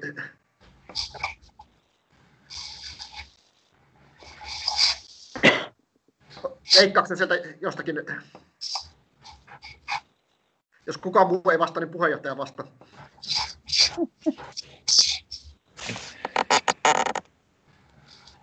Niin, siis verisin kon- konflikti niin kuin toisen maailmansodan jälkeen. Joo. No, olisiko se just se Kongon sisällissota? Heittäisin. Niin. Virallinen termi on, virallinen termi on to, toinen Kongon sota, mutta se tunnetaan yhä kasvavissa määrin myöskin afrikkalaisena maailmansotana tai African Great War, niin sanotusti tämän niin, englanninkielisessä maailmassa. Eli niin, tota, tämä 900-luvun ja 2000-luvun alku olivat niin kaauksen aikaa Kongossa. Se hallinnon romaus johti niin kuin, keskisen Afrikan niin kaaukseen ja semmoista ei oltu niin kuin, nähty Leopoldin aikojen jälkeen. Eli alueella käytiin niin 1996 oikeastaan 2003 niin sanottu Afrikan maailmansota, eli sinne kuoli 5,7 miljoonaa ihmistä on jotenkin laskujen mukaan kuollut siinä konfliktissa. Ja sitten, tota, siihen osallistui 18, 18 eri valtiota osallistui siihen sotaan. Ja niin, sitten tota, erilaisia sisäisiä osapuolia oli ky, kymmenkunta semmoista laajempaa liittoma. Eli niin, tota, mitä tahansa tällä niin kuin, ja tähän liittyy myöskin kaikki niin nämä Ruandan kansanmurret ja nämä, niin nämä oli niin tämän niin, tota, konfliktin, ja ne niin, leiskuvat eri puolilla sitä aluetta, niin ne kaikki niin liittyy vähän tähän nurk, niin, nurkille. Eikä tämähän on ihan valtaisa konflikti, mutta näkyykö tämä 90-luvulla suomalaisessa mediassa, kuinka hyvin tämä juttu. Muuten kuin sillä tavalla, että kaikille tuli jonkinlainen sisäinen sellainen tieto, että koko ajan siellä Afrikassa taistelevat tai jotain tällaista näin ikästi ja niin. No, voitte kuvitella, että mitä tämmöinen konflikti tekee valtion sisäiselle kehitykselle ja oloille siellä. Eli tota, jälleen kerran kongolainen yhteiskunta tuhoutui aika lailla täydellisesti Eli niin, tota, siellä oli kymmeniä sotivia armeijoita, paikallismilitioita, jotka niin, tota, piti alueellista jonkinlaista juttua, ja unohtamatta tietysti kaivosyhtiöitä palkkasotilasjoukkojensa kanssa. Eli koko tämä, niin, tota, tämä sota niin, tavallaan käytiin sillä tavalla, että erilaiset sotivat osapuolet käyttivät käytännössä orjatyövoimaa ja möivät halpa, halvalla hinnalla erilaisia kaivosmalmeja, puuta, timantteja, eri puolipoikka ja sillä ostettiin sitten aseita tänne taas tänne konfliktiin. Eli Eli tämä tota, sota, ja tämä oli, sota oli sen sekaava, että esimerkiksi täytyy muistaa, että esimerkiksi Ranska ja Yhdysvallat sotivat tässä vähän niin eri puolilla, tukivat eri tahoja ja eri läntiset porukat tuki eri porukkaa, mutta se oli semmoinen niin sekaava konflikti, että siinä on hyvin vaikea niin antaa että sitten voisi puhua koko luennon läpi tässä oikeastaan, jos se olisi. No, mitä, mitä tämä sitten nyt teki niin tavallaan, niin, että se sota kesti ja kesti ja kaikki meni palaseksi, niin mä voin havainnostaa, mitä, mitä tällä oli niin vaikutuksia. Taas kerran historiaa, vaikka on vaikea arvioida, mutta on esitetty semmoinen, että keskiaikainen englantilainen talonpoika keskiaikainen niin tulee niin sen tämmöinen bruttokansantuote tai PKT tai niin se olisi ollut jotakin 1200 1400 dollarin vuosi. No, tällainen tota, tämä, niin, tota, Kongola, Kongon niin tämä niin, tota, bruttokansantuote tällä hetkellä on 400 dollaria vuodessa. On tällä hetkellä, hetkellä ja välittömästi tämän Kongon sodan aikoihin se oli 160 dollaria vuodessa, eli, eli kongolainen ihminen oli niin, tota, on merkittävästi köyhempi kuin keskiaikainen englantilainen talonpoika niin materiaaliselta tältä niin, suhteessa vaatteisiin, ruokaan ja tämmöiseen. Ja täytyy huomata, että keski, keskiaikaisessa Kongosta ei ole ihan tarkkaa homma, mutta on arvioitu, että se olisi ollut jotakin 900 dollaria olisi ollut keskiaikaisella Kongon kuningaskunnan alueella eläneen tämän ihmisen bruttokansantuote. Eli se pistää ajattelemaan tätä, miten siunauksellinen tämä länsimaalainen imperialistinen tämä vaikutus tähän alueeseen on ollut. No, 2000-luvun jälkipuoli on sitten ollut suhteellisen vakauden aikaa, koska tuommoisen konfliktin kun pistää, niin porukka ei, ei ole ihan siihen ei ole porukka, ei ole täysin halukkaita menemään. Ja tässä on monia muita juttuja, eli esimerkiksi se kännykkä- ja akkuteollisuus esimerkiksi ovat niin, tota, niin, kysyneet hyvin runsaasti, että ne Kongolle tyypillisiä ja melko harvinaisia erilaisia erikoismetalleja, mitä löytyy Kongosta, mutta ei juuri muualta. Su- Suomi on yksi paikka itse asiassa, mistä löytyy niitä, se Kongo on pienimpinä määrinä, mutta niitä löytyy jonkun verran täältä. Eli mitä pistäkö tämä varoituksen sanana kelle tahansa, joka Eli niin tota, nämä erilaiset kaivosyritykset käyttävät Kongoa edelleen omana leikikenttänä, ja ne ovat, eikä ne, se Malmien myyminen on edelleenkin ainoa tapa, millä Kongoon virtaa ulkomaanvaluuttaa merkittävissä määrin. Eikä, ehkä yksi asia, mitä, niin tähän, mikä on niin laajempi tämmöinen niin tavallaan muutos Afrikassa, niin on tämä kiinalaisten kasvanut vaikutus alueella. Eli että iso osa tästä niin Kongo on tehnyt paljon sopimuksia kiinalaisten yrityksen kanssa tässä kehittämistä ja niin poispäin. Ja, okei, no täällä on tiettyjä vaikutuksia, sinne on rakennettu asioita niin poispäin. Läntiset yritykset totta kai syyttävät nyt kiinalaisia tästä imperialismista ja korruption suosimisesta ja huonosta työoloista ja poliittisesta dominoimisesta tämmöistä, mutta tässä on pakko sanoa, että niin, tota, eurooppalaista ei ole ehkä ainakaan ihan täyttä moraalista pohjaa, niillä ei ole näistä asioista kritisoida. No aina voi tietysti sanoa, että yhtä vääryyttä ei saa hyväksi sille, että toinenkin pääsee tekemään vääryyttä, se on totta, mutta no, joka tapauksessa voi ajatella sitä asiaa näinikkästi, että niin, tota, lapselle, joka kaivaa niin kännykän akkuihin kopolttia käytännössä jossakin Katangan tämmöisessä kaivosmuuntussa, niin lähes käsiin, niin samalla tavalla kuin isänsä ja isoisänsä niin, ja hänen isänsä, niin sillä ei luultavasti ole suurta merkitystä sillä, että sortaako sitä niin tämmöinen kiinalainen kaivosfirma vai australialainen vai etelä-afrikkalainen vai amerikkalainen vai kanadalainen, että se niin, sillä tavalla ole hirveätä merkitystä hänen kannalta. Ja tämä koko merkitys raaka-aineiden tuontipaikkana on niin kasvussa tällä hetkellä. Eli maailmalla leviää tällä hetkellä semmoinen vihreä aalto, eli huoli ilmastosta on saanut kansainvälisen kapitalismin etsimään kuumesti keinoja tuottaa voittoja tämän tota, itse tekemänsä ympäristökriisin nojalla. Että tämä on tämmöinen, itse käyttäisin termiä vihreä imperialismi, mutta sitä kannattaa katsoa toinen luento Demokraattisen sivistysliiton sivulta, jos kiinnostaa enemmän. No, kuitenkin voisi sanoa, että niin tavallaan yksi tämmöinen ratkaisu, mitä tähän maailman ilmastokriisiin on tarjottu, niin on sähköautot. Ja monet niin hallitukset ja yritykset on sydellyt tätä ratkaisua hyvin paljon. Ja lähinnä sen takia, että se on keino lisätä kulutusta ja, ja voittoja ja teeskennellä samaan aikaan, että niin, tota, niin, se on niin tuolla ympäristölle hyväksi ja tämä tuntuu hyvin niin uppoavan moni ihmisen niin, tämä juttu.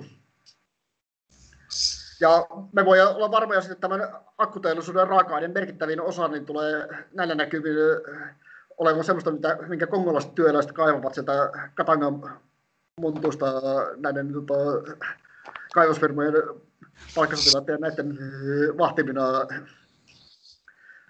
Ja tämä on se rooli, minkä tämä imperialismi on heille varannut niin tulevaisuudessa. Ja tämä on se hinta, minkä tämä länsi on valmis maksamaan äh, sitä niin vihreässä siirtymästä, että sitä ei tule liian kallis heille itselleen. Eli jos me nyt kokoan nämä imperialismin kootut seuraukset tässä nyt tänne, mä voisin tehdä tämmöisen pienen kokoomuksen. Eli tämä koskee myös tosiaankin muuta Afrikkaa vähän lievempänä, mutta silti. Eli ensimmäinen on tuo, että orjakauppa piti alueen aliasuttuna ja sitoi sen maailmankauppaan tavalla, joka perustui hyvin suoraan riistoon ja epävakauteen. Ja sitten, että läntiset tahot lietsoivat epävakautta sotia ja niin edelleen, koska orjat olivat se, mitä saatiin sotimalla. Ja tämä Kongoni liitettiin imperialismin, imperialismin raaka-ainetuotantoon poikkeuksellisen julmalla tavalla tämän Leopoldin kauden myötä. No, ja imperialismin aikana Kongon talousjärjestelmä kehitettiin sellaiseksi, että se perustui halpojen raaka-aineen tuottamiseen halvalla läntisen teollisuuden pyörittämiseksi. Ja Kongon teollisuutta, infrastruktuuria ja taloutta ei tarkoitettu alueen kehittämiseen, vaan se alikehitettiin. Se oli kapea, alaista, se heikko jalostusaste ja niin poispäin. Ja itsenäistymisen jälkeen entiset siirtomaat, tai entiset siirtomaat eivät saaneet todellista itsenäisyyttä, vaan siirtomaaherrat, yritykset ja niin edelleen jatkuvat taloudellisen ja poliittisen kontrollin pitämistä alueella. Ja tämän niin, tota, uskonnollisen järjestelmän takuumieksi otettiin kaikkia nepoottisia poliitikkoja, jotka takasivat sen uskonnollisen jatkuvuuden. Ja tämä tästä seurasi korruptiota ja poliittisia levottomuuksia. Eli niin, tota, tämä niin johti sitten siihen, että eri puolilla Afrikkaa niin, tota, on niin, ne poliittiset järjestelmät ollut, ollut epävakaata juuri tämän nepotismin ansiosta. Ja sama juttu, mikä on tuottanut epävakautta, on se massiivinen kuilu rikkaiden ja köyhien välillä, mikä on seurannut tästä, näistä järjestelmistä. Ja tämä on niin edelleen tyypillistä, että tämä kapitalistinen systeemi on niin roolittanut tämän alueen paikaksi, jota, niin josta saapi halvalla raaka-aineita. Ja ilman, ilma, että niin, tota, niin, niin, hinta tai, tämän, tai ympäristövaikutukset niin merkkaa liikaa niin tällä lännessä. Ja myöskin nykyinen maailmanjärjestelmä semmoisena kuin se nyt on, niin se tarvitsee tätä juttua, joten mikä ei tule todennäköisesti muuttumaan, jos mennään tällä nykyisen järjestelmän puitteissa. Ja kaikki niin yritykset muuttaa tätä tilannetta, niin törmäävät väistämättä tähän uuskolonialismin ja alikehityksen yhteisvaikutukseen. Eli mitä tahansa Afrikassa yritetäänkään tehdä, niin, niin se tota, niin, jollakin tavalla afrikkalaisten pitäisi, niin, jos ne haluaisivat päästä pois tätä niin kehitystä, köyhyys, poliittinen epävakaus, jopa so, poliittisen epävakauksen, jopa sotimiseen asti, niin, niin pitäisi pystyä jotenkin niin kuin, eroon sitä alikehityssyklistensä, mutta se sykli on tarkoitettu kestämään ja poisentamaan itsensä. Eli niin, tota, tämä on synkkä visio, mutta tällä hetkellä Afrikan ja Kongon rooli on tämä. Kuva on lohduton. Asia voi muuttaa, mutta se ei tapahdu tämän nykyisen talousjärjestelmän puitteissa ja sen takia tähän meidän talousjärjestelmään täytyy puuttua. Kiitokset. Tässä olisi tämä minun esityspuoli ja nyt voisin varmaan aloittaa niitä kysymyksiä ja keskustelua asian piiristä. Kiitokset kuuntelusta. Kiitos. Joo, kiitoksia paljon Jari tästä varsin hyvä, hyvästä al- alustuksesta tosiaan. Että, ja to- toivottavasti jatkossa kuultaisiin niin kuin lisääkin tästä, tästä niin kuin Afrikasta tai niin kuin eri Afrikan maista, koska meitä täällä Suomessa ja niin kuin yleensäkin tällä, tällä pallonpuoliskolla vaivaa se, ettei että me hirveästi tiedetä, eikä oikeastaan vaivauduta etsimäänkään hirveästi, että se Af- Afrikka on, on, on niin kuin usein meille semmoinen aika, aika tuntematon, tai sitten tosiaan se näyttäytyy sitten vaan, vaan niin kuin tämmöisen länsimaisen tai länsimielisen median, tai sitten no, muiden, muiden niin kuin il, ilmansuuntien ilmansuuntien medioiden perspektiivistä, että ei, ei ole niin tämmöistä afrikkalaista perspektiiviä hirveästi, että se on ihan totta, että nyky, nykyisessä järjestelmässä on melkoisen mahdotonta, mahdotonta päästä semmoiseen aitoon kehitykseen näissä, nä, näillä alueilla. Sitten mä tota, mietin kans, kans Afrikkaa, että sitten kun siellä tämän, tämän tota, näiden haasteiden keskellä, niin sitten on niin kuin sitten, voisi sanoa, että olisi joitain palopilkkuja toisaalta, että se, se toisaalta saattaa niin kuin, e, varsinkin nykyisessä järjestelmässä olla niin kuin aika, aika niin kuin pinta, pintakiiltoa, silleen, mutta jos niin kuin miettii vaikka esimerkiksi Nigeriaa, joka on haasteistaan huolimatta, niin sillä on aika, aikamoista potentiaalia, että kunhan, kunhan pääsisi näistä, mikä siellä nyt Shell häärää siellä delta-alueilla ja monet muut vastaavat, niin Nigerialla on aika paljon niin potentiaalia siellä, siellä Afrikassa olla, olla niin tämmöinen niin sanottu superpower.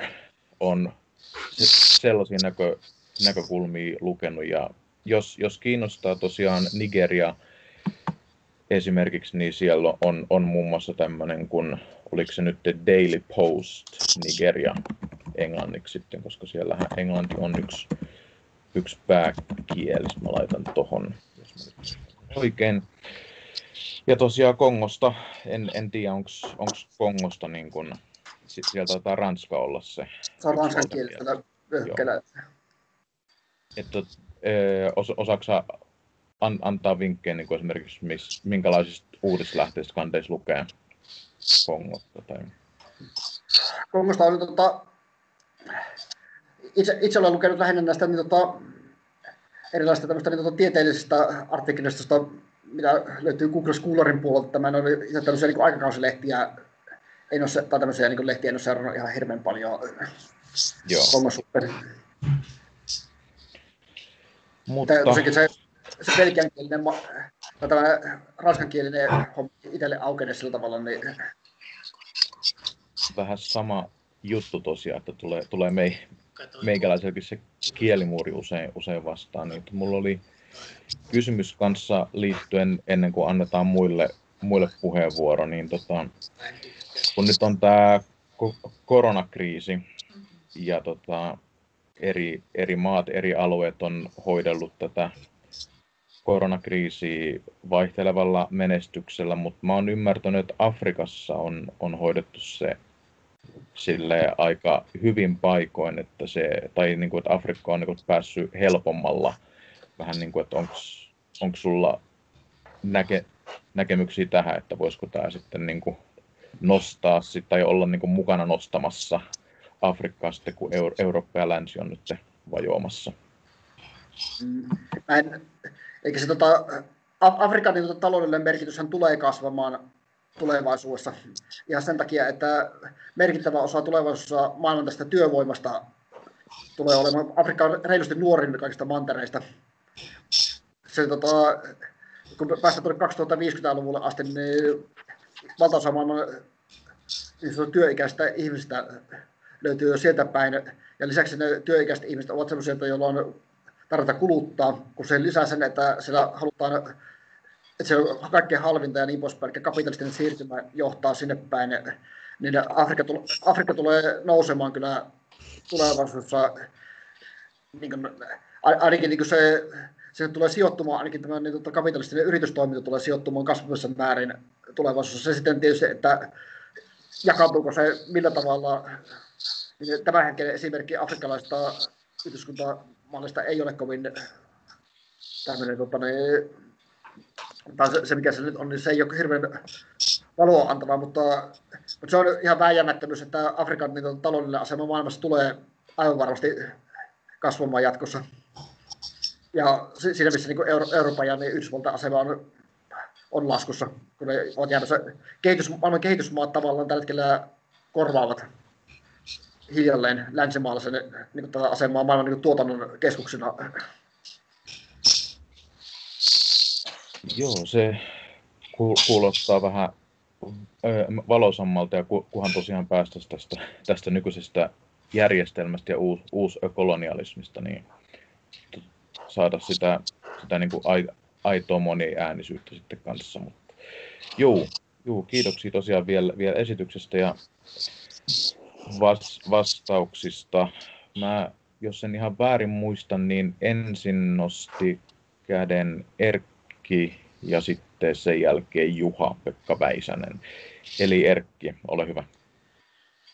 Joo, afrikkalaisethan tunnetaan täällä Euroopassa tällä hetkellä lähinnä siitä, että ne pahukset tunkee tänne meille valtavina virtoina, että minkä verran siitä afrikkalaissiirtolaisten joukosta on sieltä Kongosta lähtöisin. Ja, ja sitten toinen asia, niin tota, meillä suomalaisillahan on nyt erinomainen mahdollisuus vaikuttaa vaikuttaa afrikkalaisten asioihin, kun meillä on, meillä on oma ihminen tuolla Euroopan unionissa hoitamassa näitä Afrikan asioita, eli Jutta Urpilainen voidaan pistää, pistää asialle.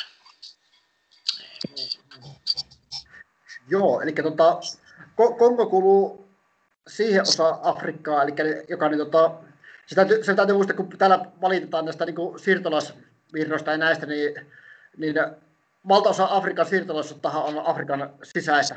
Että niin, to, iso osa tästä niin afrikkalaisista, kongolaisista, kongolaisista menee tänne Botswanaan ja Etelä-Afrikkaan ennen kaikkea. Ja jonkun verran sitten tänne tota, itärannikolle tänne Keniaan ja tänne päin. Eli niin, tota, kongolaiset ei ole ihan niin, tota, niin kärkipään joukossa, ei ole näissä, näissä siirtolaisten joukossa. Tänne rans, ranskankieliseen, tuonne ranskankieliseen maailmaan niitä jonkun verran tulee, mutta ei, ei ole mikään niin, tota, ihan ehkä yleisimmästä päästä kuitenkaan. Tietysti täytyy muistaa, että aika, niin kuin, eihän valtaosa ihmistä lähde niin, tota, liian kauas omilta tutulta ympäristöltään, vaikka taloudellisesti kannustamista siihen vaikka olisikin. Eli, niin, tota, ja Afrikassa harrastetaan hyvin paljon tätä siirto, siirtotyölästä, eli eri sesonkien mukaan li, mennään jonnekin päin, niin tota, aina poimimaan esimerkiksi jotakin maataloustuotteita tai sitten niin, tota, niin, mennään niin siirtotyölässä joidenkin kaivosalueille silloin, kun on niin hyvä niin tämmöinen niin, tämmöinen, tota, niin, Malmin kysyntä on tämmöinen nälkästi.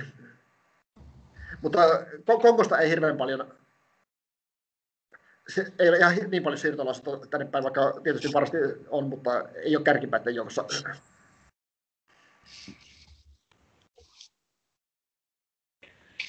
Joo, seuraavaksi JP ja JP jälkeen Ossi. Ole hyvä JP.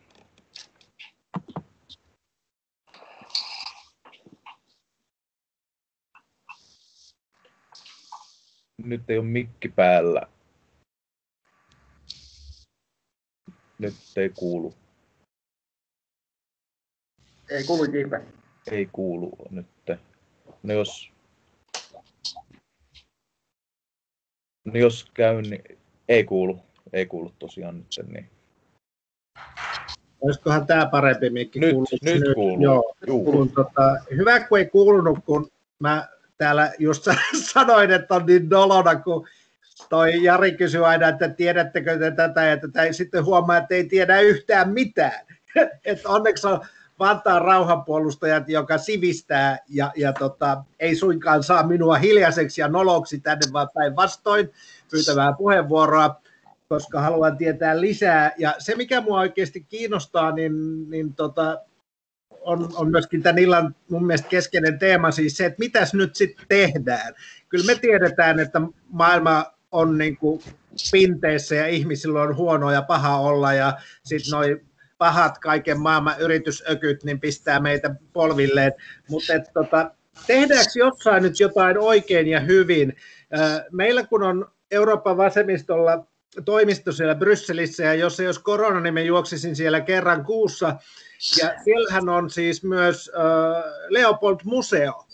Ja, ja mä oon aina seurannut sitä, sitä museoa, koska se, se on oikeasti, totta kai kaikki se, mitä sä Jari kerroit siitä ryöväämisestä ja muusta, niin sinnehän se on talletettu. Mm.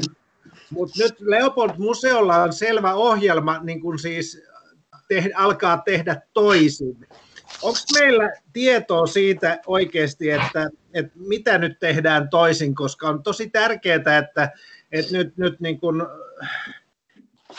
selkeästi mietitään, että miten sitä kulttuuria, miten sitä historiaa ja, ja tätä taidetta, mikä on varastoitu niin miten sitä esitetään. Kuka siellä saa, kuka tulee ääneen. Mä oon ymmärtänyt, kun mä oon jotain lukenut, että kongolaiset kansalaisyhteiskunnan toimijat pääsis nyt sit vihdoinkin riistäjiensä tota, maksamana sanomaan jotain, mutta onko jotain tietoa tästä, että miten hyvin tämä toimii? Voidaanko, voidaanko tota historiaa esittää nyt uudessa valossa ja ketkä on nyt ääressä? Joo, ehkä tiedän ainakin sitä, että ilmeisesti tämä Leopold museo, niin tota, mä oon jostakin kuullut, että se ainakin olisi palauttamassa kongolaisista varastetut pääkallot olisi palauttamassa nyt takaisin sinne, takaisin sinne Kongoon haudottavaksi. Joten kyllä sitä on ihan hyvä lähteä liikenteeseen. Ja on, Kongola on ilmeisesti, kyllä sitä on, että on, pitää ainakin puhuttu, että niin tämä kongolainen musiikki ja kulttuuri, niin tota, sillä on olevan kysyntää Afrikassa sisäisesti ja hitaasti, mutta vakaasti se varmaan tulee leviämään aluksi ranskankieliseen maailmaan ja sitä eteenpäin. Eli ainakin tämän näköistä kulttu- niin aidompaa, aitoa kulttuurivaihtoa varmaan on liikkeessä, koska Kongo on 60 miljoonaa ihmisen niin, tota, maa, jossa on niin, tota, apor, niin, tota, puhutaanko se nyt niin, sata, yli sata kieltä, niin kuin puhutaan ainakin reilusti yli sata kieltä. Eli se on edelleenkin kulttuurisesti äärimmäisen tämmöinen niin, aika aitta kaikenlaiselle kulttuuriselle sisännölle, jossa jossakin vaiheessa läntinen kapitalistinen taho saa niitä jaettua muille ihmisille. Mutta, se, mutta ehkä semmoinen niin kulttuurivaihto, ku, kuunnellaan niin kuin, tässäkin meidänkin ongelma on se, että tässä niin kuin, minäkin tässä valkoisena hemmuna puhun Kongosta niin oikeasti, koska optimaalisessa tilanteessa paikan päälle olisi hoidettu joku tämmöinen kongolainen, ja ehkä hoidetaankin demokraattisen sivistysliiton toimesta jossain vaiheessa kertoo mm. oikeaa vaihtoa. Hyvä, hyvä, hyvä, hyvä. Eli niin, tota, ja muutenkinhan DSL on suunnitteilla tämmöinen suuri imperialismi luentosarja, jossa, joka on tuolla tämmöinen, avasi just niin tätä tämmöisen sor, sorretun mantereen asema. Mutta mitä muuta niin tota, me voitaisiin tehdä? Ennen kaikkea se pitäisi, meidän pitäisi päästä, niin kuin, jos muuta kysytään, niin Afrikka pystyy nousemaan ainoastaan, jos se niin, tota, pääsee tästä alikehityssyklistä eroon. Ja alikehityssykli ei lakkaa sillä, että toinen on auttaja ja toinen on avustettava. Eli niin, tota, pitäisi löytää niin sellaisia niin, ihan oikeita niin kumppanuutta, niin tavallaan, että minkä, minkä molemmat haluaisi tehdä, ja niin, tota, se niin, tavallaan niin hyödyttäisi, että se, se on vaikea kysymys, mutta niin, tota, että mitä tässä voidaan tehdä äkkiseltä, mutta pienemmällä hommalla myös on se, se kulttuurivaihto, ja tämä niin on semmoinen, mitä niin, tota, jokainen meistä voi etsiä kongolaista musiikkia ja ruveta soittamaan sitä esillä ollessa jossakin paikassa, mikä on ihan hyvä homma, niin mä jotenkin kongolaisia rumpu tämmöisiä juttuja kuunnellut joskus Spotifysta, ne on oikein niitä rytmikkäitä ja hyviä.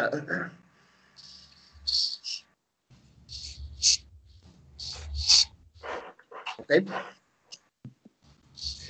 Joo, kuuluuko? Joo, nyt varmaan kuuluu siellä. Niin tota, joo, joo, ehdottomasti kulttuurin merkitys on suuri tässä, niin kuin, että rohkaisen kaikkia googlettamaan kongolaista musiikkia ja kaikkea, mitä Jari tuossa nyt nosti esille. Ja sitten tota, tuli mieleen tämä, kun oliko se IP, joka mainitsi tämän Euroopan vasemmiston, joka on siis, siis tämmöinen, en, en tiedä sanooko kaikille mitään Euroopan vasemmisto, onko joku kuullut, että semmoinen niin kuin, miten sen nyt muotoilisi, semmoinen laajahko ryhmä, koalitio, joka koostuu eurooppalaisista vasemmistolaisista kommunistisista puolueista. Eli semmoinen aika laajahko kokonaisuus ja täällä Euroopan vasemmistollahan on kanssa erilaisia, erilaisia työryhmiä. Mä muistan hämärästi, että siellä olisi ollut tämmöinen Afrikka-työryhmä, että jos siellä pystyisi, niin kuin, pystyisikö sitä konsultoimaan esimerkiksi että niin kuin yhtenä lisäyksenä tuohon JPn kysymykseen. Tota, sitten, jos en ihan väärin muista, niin vuorossa oli Ossi ja sitten Juha Kovanen, eli ensi Ossi. Joo, mietin tässä, olisi pitänyt ehkä pikkusen lukea noita historian kirjoja, kun mulla niitä tuossa hyllyssä on. Olisi ollut aika jännä, jännä tuota vertailla, että miten, miten sata vuotta sitten kirjoitettiin kirjoissa Afrikasta. Mulla tuossa nyt on sata vuotta vanha, vanha maantieteen oppikirja ynnä muita, mutta tietysti mokaisin enkä lukenut niitä. Yritin vain miettiä tässä, että mitä mä oon kuullut itse Afrikasta ja Kongosta, niin kyllä se varsin vähäistä on.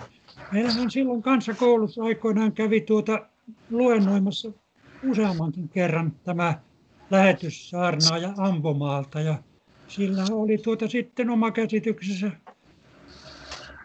kansojen kansojen yhdenvertaisuudesta sun muusta. Ja, ja tuota, muista siitä muuta kuin, että ohjaksi, että älkää nyt ainakaan naimisiin menkö niiden afrikkalaisten kanssa, että kyllä ne muuten mukavia ihmisiä on. Tuura Vapaavuori, olikohan tämä lähetyssarnaaja nimeltä, lieneekö sukua tälle pormestari Vapaavuorelle vai onko sattumalta vain sama, sama nimi? Silloin, silloin tuota, siirtomaavallan aikana myöskin harrastin tuota postimerkkeilyä ja, ja tuota se vähän mitä Belgian Kongosta tiedän, niin tiesin ja ehkä myöhemmänkään en ole paljon tiennyt, niin oli juuri nämä postimerkit, jotka oli tavattoman kauniita ja hienoja. Ja siitä sai sen käsityksen, että no Belgian Kongo on varmasti niin kuin taiteellisesti korkeatasoinen hieno maa, kun siinä samanlaisia muistakin afrikkalaisista siirtomaista oli tuota valtavan hienoja postimerkkejä. Tämä piti olla vain se lyhyt, lyhyt. Mä joutuin siihen. Mä ajattelin vähän niin kuin jos ette ole sattunut kuulemaan, niin Suomen ulkoministeriö viestintäosasto julkaisee tällaista, tällaista lehteä, jossa on, jossa on valtavan kauniita kuvia tuota Afrikasta. Tämä, tämä keskittyy siis Suomen näihin yhteistyökuvioihin ja tuota, siellähän tietysti paljon hyvääkin tehdäänkin. Ja tuota, nimenomaan se oleellinen osa siinä on, että se olisi tämä JP taisi siitä mainitakin vai joku muu, että, että tämä yhteistyö on se tärkein tässä, tässä tuota, niin sanotussa kehitysavussa. Ei, ei suinkaan, että sinne työnnetään rahaa niin kuin tuota kehitysavun vastustajat mielellään näkee sen näin, vaan että, tuota, että paikallisten ihmisten ja paikallisen osaamisen ja nimenomaan paikalliseen perinteeseen perustuva niin kuin tuota yhteiskuntarakenteen uudistaminen on niin kuin se, se oleellinen siihen, että Suomesta sinne voidaan antaa teknistä apua, mutta tuota ei niin, että me Suomesta mennään sinne ja kerrotaan, että mitä, mitä afrikkalaisten pitää tehdä, vaan niin kuin kysytään niiltä, että miten te täällä ennen teitte, kun te olette hyvinkin pärjänneet täällä, täällä niin kuin tuosta alustuksesta kävi ilmi, niin ennen, ennen kuin eurooppalaiset sinne, sinne rynnistivät. Ja tuota, Afrikassahan on aika monessa maassa Suomella näitä yhteistyökohteita. Tuossa lehdessä sen voi tilata maksutta. Se on aika helppo. Osia siitä on myöskin netissä luettavissa, ettei tarvitse edes, jos ei paperilehteä jaksa jaksa postiluukulta hakea, niin ottaa. Mutta, mutta, mutta, mutta näitä kriittisiä arvioita siinä on vähänlaisesti. Mutta kyllä sekin sieltä tulee ilmi, jos jaksaa lukea niin kuin ne läpi ne tarinat, että sitähän paljon arvioidaan täällä nimenomaan nämä, jotka vastustaa kehitysapua, koska, koska nehän nyt, mitä se meille kuuluu, että hoidetaan tämä kotimaan asiat ensin niin että tuota, että, että se on niin kuin pelkkää rahan tuulausta ja niin päin pois. Vai sekoisinko mä nyt tässä lausessa jotenkin kuitenkin.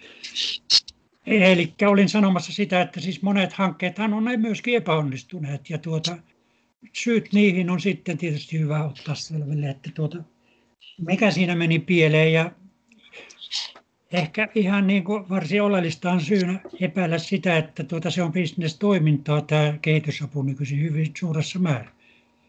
Eli suomalaiset yht, eri alojen yhtiöt niin rakentaa sinne niitä omia, omia tuota, se tekee, tekee tietysti hyvää Suomessa jollekin toiminnalle.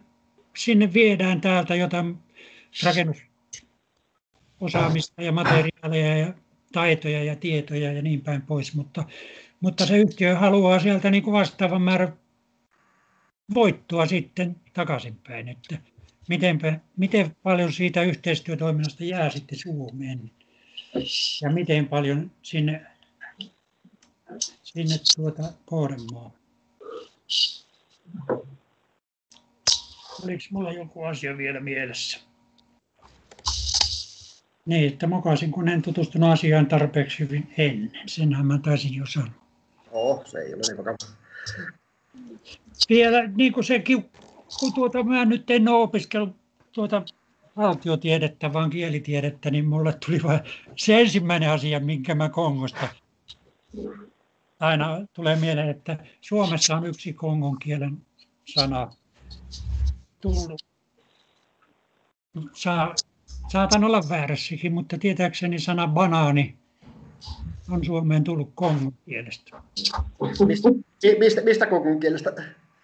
Kongo-nimisestä kielestä. Siellä on sen niminen kieli kuin Kongo. On siellä toki sata muutakin kieltä, niin kuin todettu. Muistaakseni iso, ison kieli tätä on lingala ja sitä puhuu joku 15 prosenttia porukasta. No niin, näin se menee.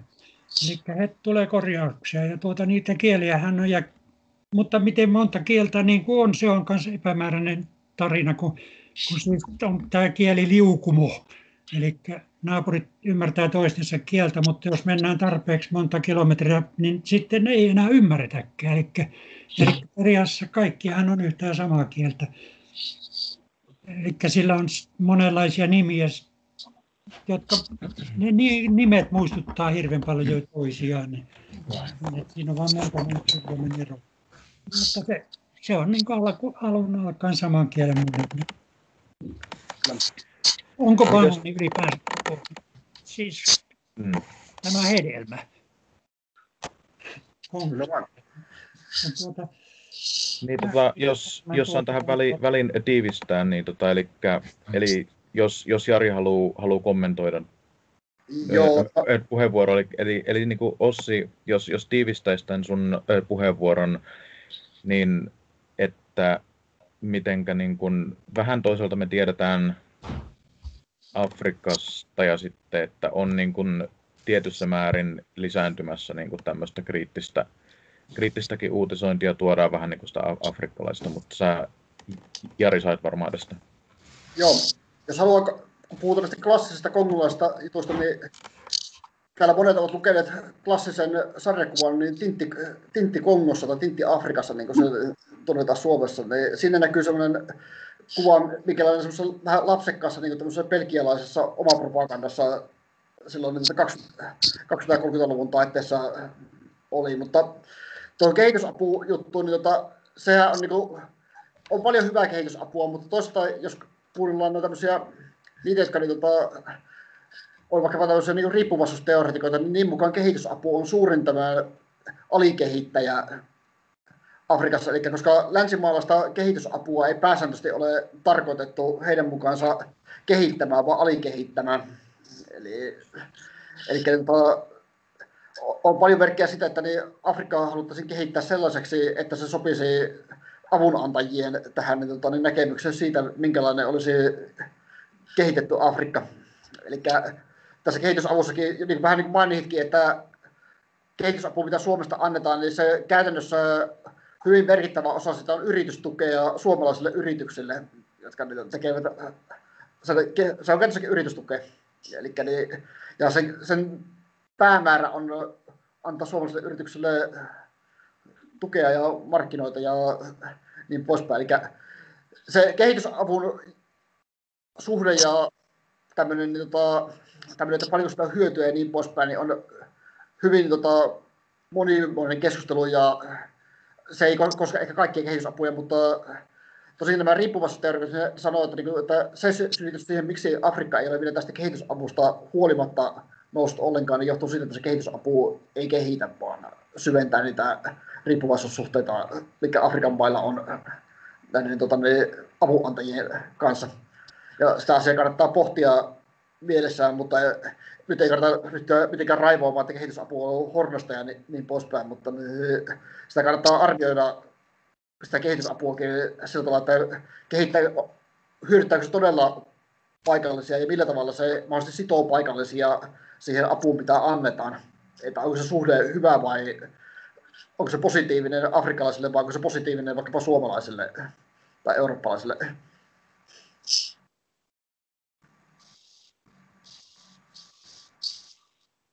Olen puhunut. Joo. Se, seuraavaksi tota, Juha ja sitten Riitta ja Juha-Pekka. Eli ensi Juha. Juha Kovanen. Joo, joo.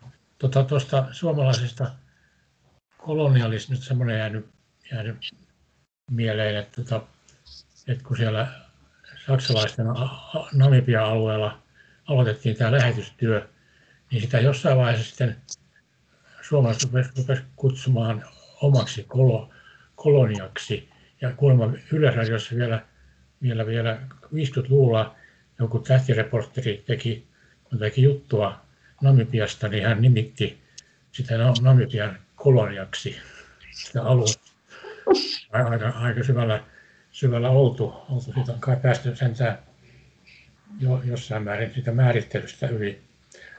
Mutta siis tuosta, tuosta kehitys, kehitysomasta ja kehitysavusta, niin, niin siinä, siinä on aika, musta aika suuret näkö, näkökulmaerot, erot, erot kun, tuota, kun tosiaan ihmiset, ihmiset ihan varmaan monet tai useimmat uskoo, että, että kyllä sen kehitysavun tarkoitus on nimenomaan kehittää nimensä mukaisesti, mutta, mutta niin kuin, tuota, niin kuin sanoit, niin, niin se, se on kyllä vähän kyseenalainen juttu.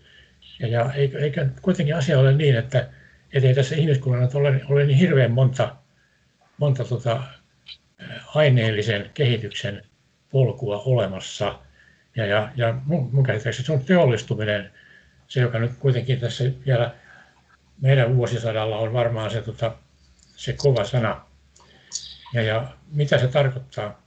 Se tarkoittaa suurin piirtein sitä, mitä, mitä Kiina on tehnyt eri tavalla kuin mitä mitä tota, vanhat siirtomaavallat.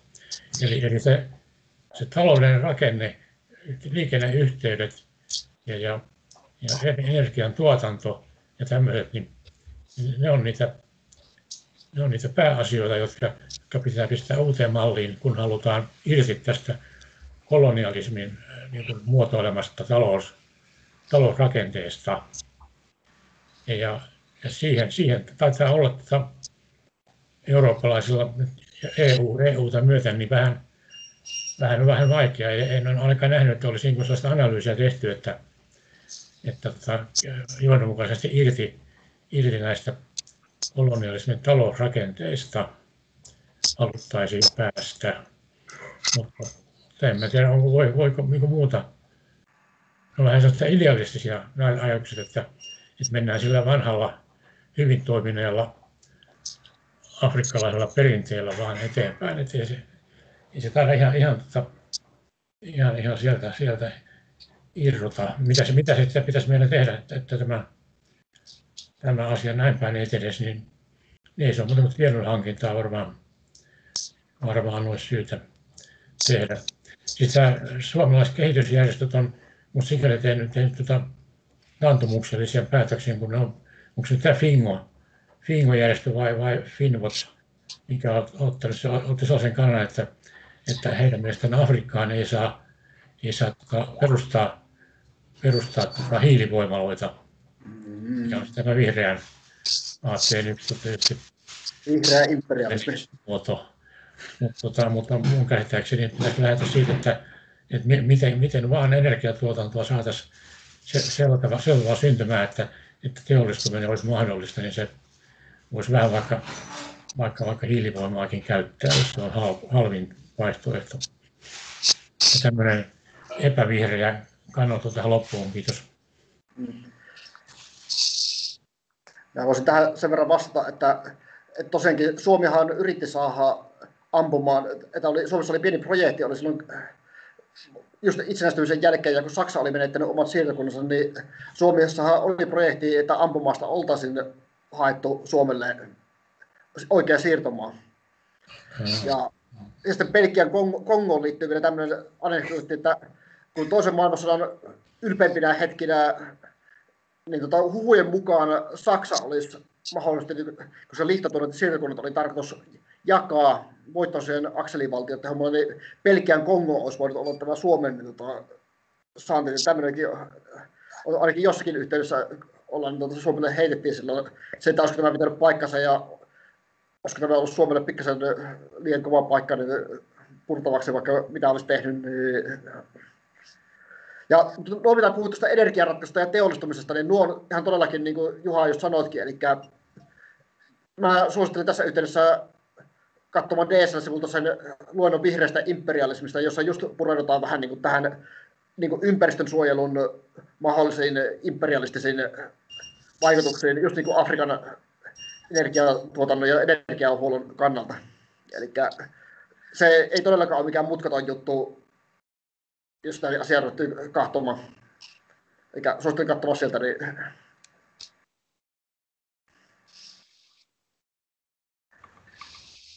olen purtu. Juu, kiitos. Sitten seuraavaksi Riitta Häkälä. No hei, mulla on tämmöinen nopea kom- kommentti tästä. Puhuimme vähän kulttuurista ja ää, suositan sellaista kirjaa kuin Pimeyden sydän, joka, joka on kirjoittanut Josef Konrad 899. Vähän eri kannalta Jari kuin ehkä Tintti Kongossa.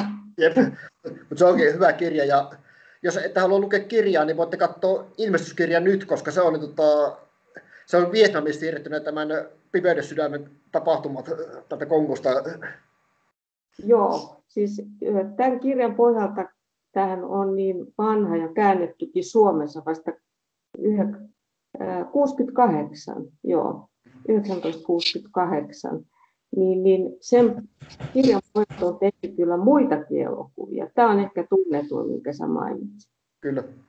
Joo. Kertoo siis tarinan porukasta, jotka lähtevät etsimään se Kongojoen yläjuoksulle. Sillä seunuttaa tämmöistä siirtomaa kuvernööriä tai tämmöistä, joka on Joo. ja matkamalla nähdään kaikenlaista ei kovin kivaa. Joo, joo, kyllä. Kiitos, ei muuta. sen, sen verran vielä tästä Suomen osallistumista siirtomaprojektiin, niin tiettävästi Kongojoilla toimi 300 suomalaista jokilaivuria Belgian tämän niin, tota, tämän tota, niin, siirtomaan niin, tota, niin, vallan aikana. Koska suomalaisilla oli kokemusta tukkihommista ja tämmöistä, niin, tota, vähän tämmöistä villimpien jokien niin, menemistä. Itse en ole tälle kirjallista lähdettä nähnyt, mutta näin on kerrottu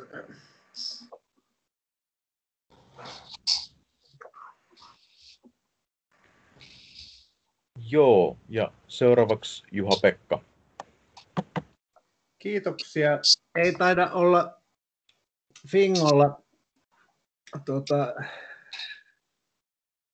ollut Kongon suurempia aloitteita tai AY-liikkeellä. En, en ainakaan muista. Tota, pitäisi kaivaa ja katsoa, onko, onko siellä jotain solidaarisuustoimintaa Kongon suuntaan ollut, koska se olisi niin kuin lähellä sellaisia tekijöitä, joiden kanssa voisi niin kuin miettiä, että mitä sitä seuraavaksi tehtäisiin. Itse mä muistan, että maailman nuorisojärjestöillä oli vasta hiljattain 2019 Kongossa kokous. En muista aktiivisesti paljonkaan, että mitä siitä seurasi muuta kuin, että, että tota, niin kuin afrikkalainen AY-liike sielläkin nousi tietysti kärkeen kysymyksissä, ihan hyvä. Sitten taas muistan, että joskus, se oli varmaan 2015, niin, niin tota, olin maailman rauhanneuvoston äh, sellaisessa seminaarissa, jossa käsiteltiin Yhdysvaltojen äh, ulkomailla olevia sotilastukikohtia. Se oli niinkin hienossa paikassa kuin Guantanamossa, Eli just siellä, missä Jenkeillä on se tukikohta. Ja siellä oli siis Kongon demokraattisen tasavallan, se varmaan sanotaan rauhanneuvosto, Peace Committee, niin, niin tota, oli läsnä mutta ei mulla mitään elävää yhteyttä ole kongolaisiin rauhanpuolustajiin, mikä on niin kuin tosi ikävää, että jos mua hävetti, että mä en tuntenut Jari sun käsitteitä, niin enemmän mua hävettää se, että mulla ei ole mitään yhteyttä näihin kongolaisiin rauhanpuolustajiin. Ja sehän riippuu minusta, molemmat asiat, siis opiskelu ja yhteydenpito. Että niin kun, kyllä tämä oli hyvä tilaisuus, koska tämä inspiroi ja palauttaa mieliin näitä oikeasti ei nyt niin kauhean kaukana olevia mahdollisuuksia, että jos me halutaan jotain tehdä, niin aletaan pitää yhteyttä ja ruvetaan tekemään jotain yhteis, ideoita, vaikka webinaaria kongolaisten rauhanrakentajien kanssa.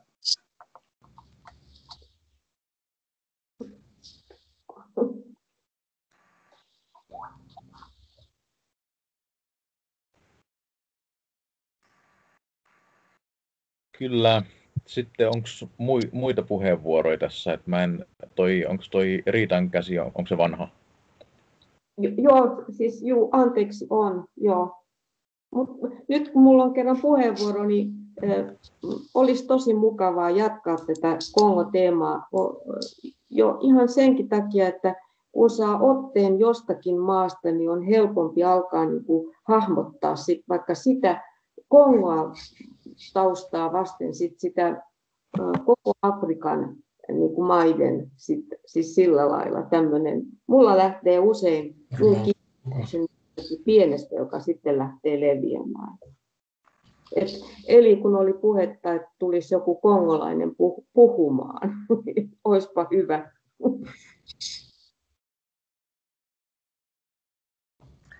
Kyllä semmoinen varmaan järjestys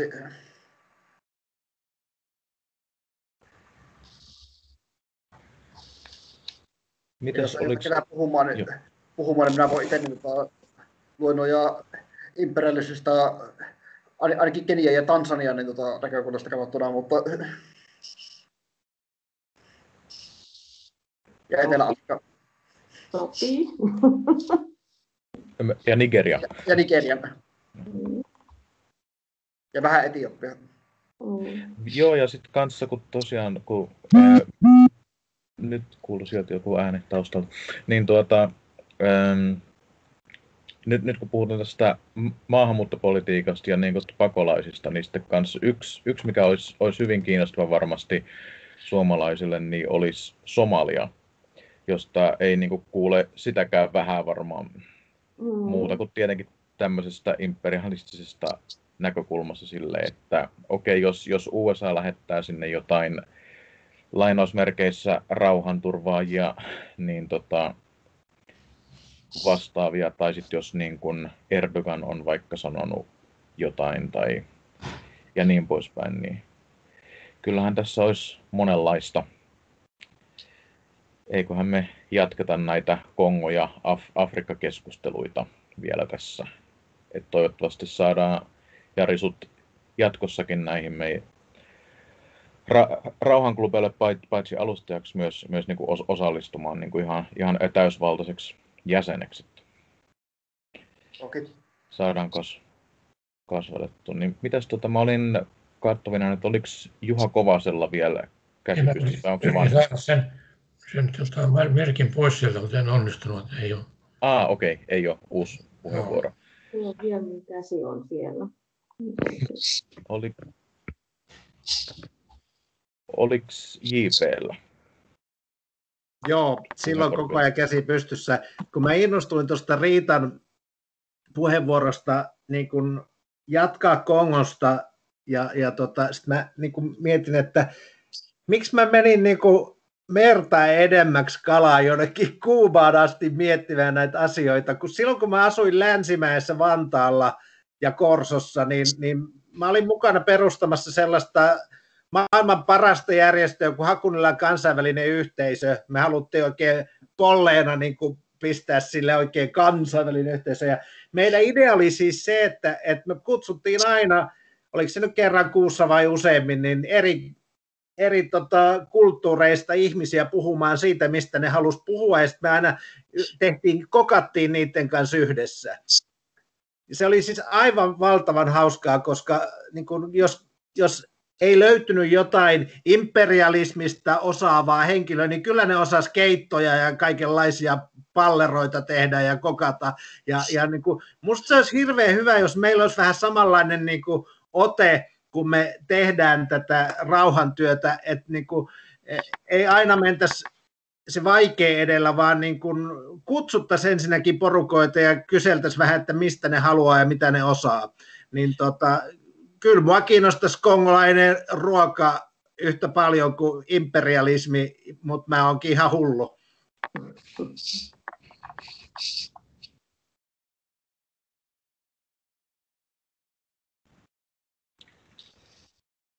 Joo, kyllä. Se on, se on hyvä lisätä yhteistyötä eri, erilaisiin järjestöihin. Eikö, Ossi asu siellä Hakunilassa, niin, niin nyt, nyt jos Ossi saisi yhteyden tähän, en tiedä onko niillä internetsivuja tai muita, muita tapoja saada yhteys näin etäyhteyksiä aikakaudella, niin olisi se hyvä ehdottomasti. Että, ja toisaalta sen väärin muistan, niin kun nyt tuli tuosta kokkailusta ja tästä kulttuurivaihdosta mieleen, niin oliko se niin kuin Vantaan rauhan puolesta on, on niin kuin järjestänyt tämmöisiä kuntoutuskummi-iltoja silloin, kun on, on ollut tota, näitä na- naamatusten näkemisiä vielä. Et Sirkku varmaan siitä tietää enemmän sitten, mutta ehdottomasti lisää näitä kulttuurin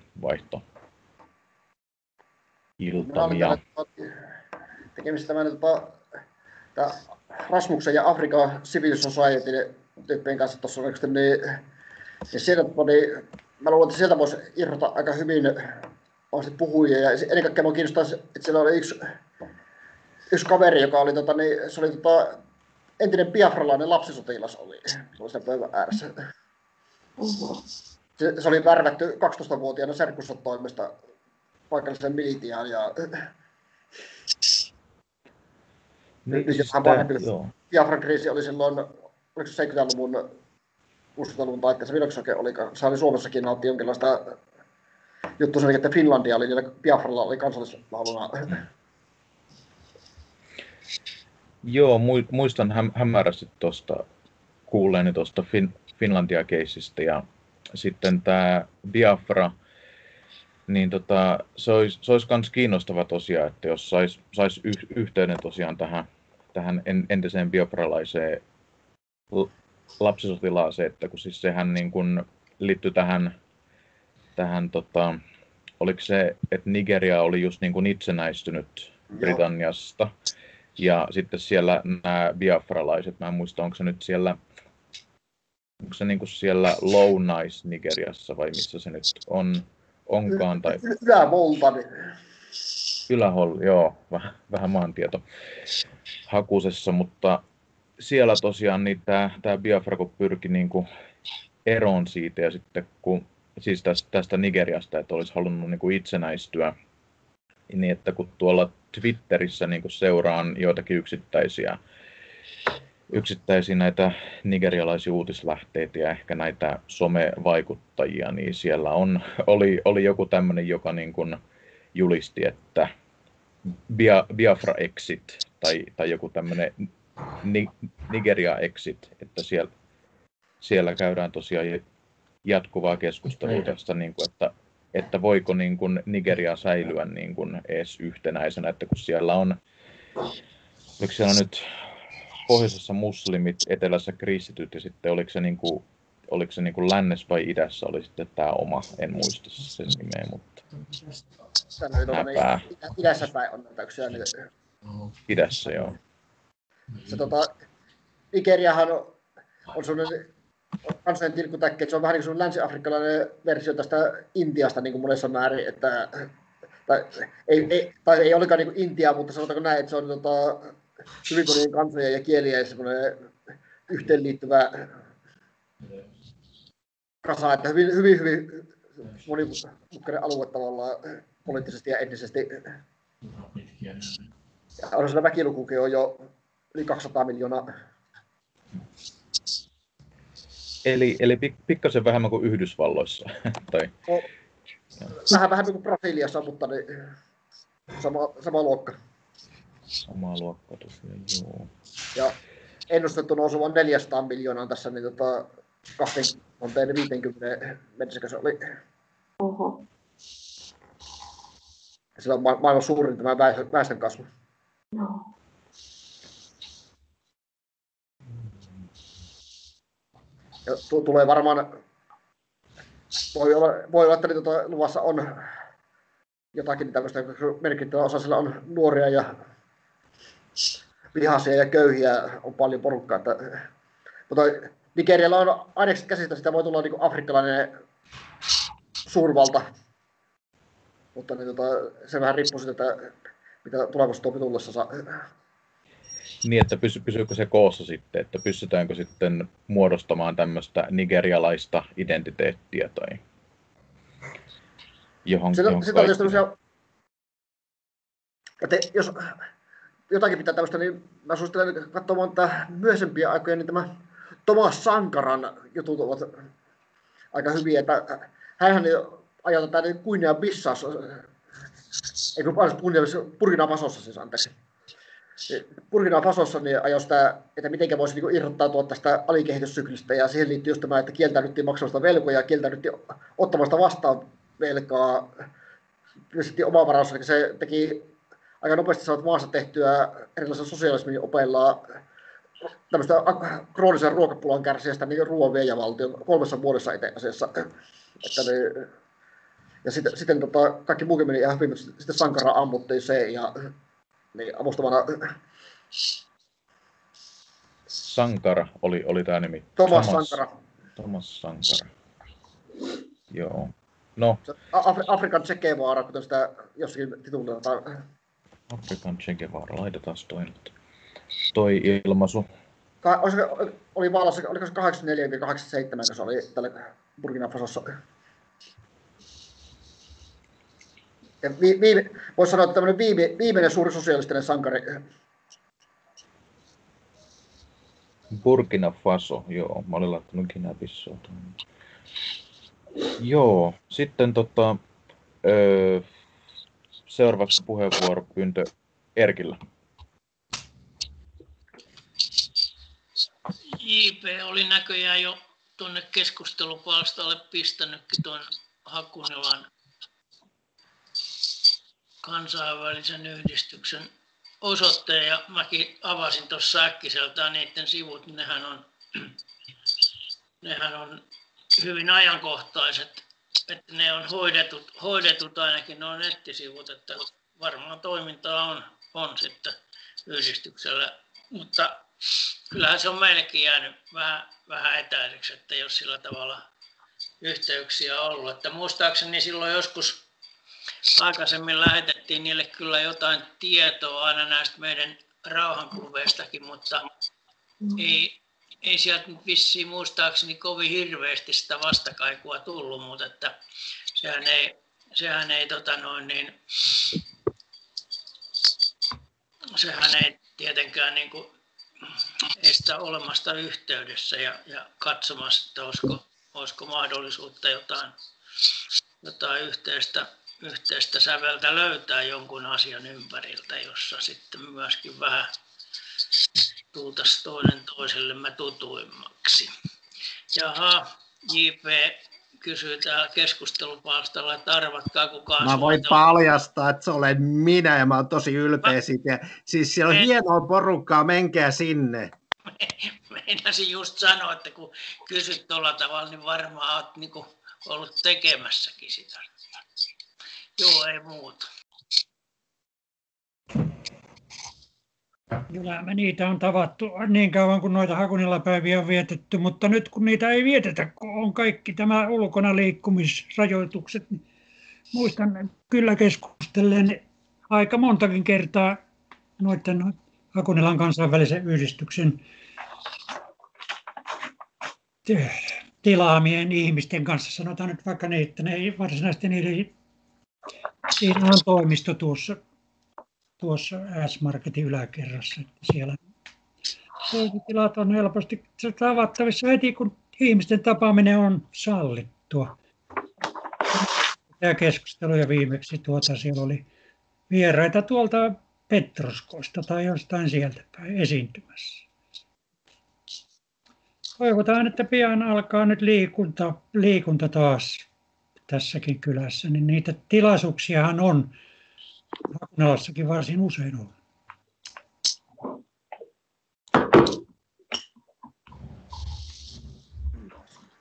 Jospa sitten siinä syksymällä näin optimistisimman ar- arvioiden mukaan. Tota, joo, meillä on vielä sanotaan mak- maksimissaan kahdeksan asti, jos jatketaan vielä keskustelua vielä, että nyt jos jos on vielä tota, mielessä kysyttävää Jarilta, niin tota, roh, rohkeasti käpälää pystyy vaan, että mä näin, näin siellä nyt JPn käden pystyssä. Ole hyvä. Joo, ei mulla ole Jarille tätä kysymystä, mutta tota, kyllä mä kysyisin, että miksi meidän pitää odottaa syksyyn asti, että me voidaan järjestää yhtä hyvä keskustelu kuin tänään. Tota, siis tämähän toimii loistavasti. On, tämä on maailman parhaat kalliot, jos on hyvä katsoa rauhanporukoita. Ja, ja tota, mä oon ihan varma, että jos, jos niin kun me halutaan, että nämä käy kohta ahtaaksi ja joudutaan koronavälejä hoitaa tänne kalliolle, niin, niin se on ihan mahdollista. Siis kysytään jotain kaveriksi järjestää tätä tilaisuutta. Sitten tulee tuplaporukat sen sijaan, että odotettaisiin syksyyn asti. Tota, voisiko sitä ajatella, että kysyisi vaikka sieltä Hakunilan järjestöstä, lähtisikö ne tekemään vaikka jotain yhteistyötä joskus? Siis vaikka tämmöistä verkkotilaisuutta yhteistyössä meidän kanssa.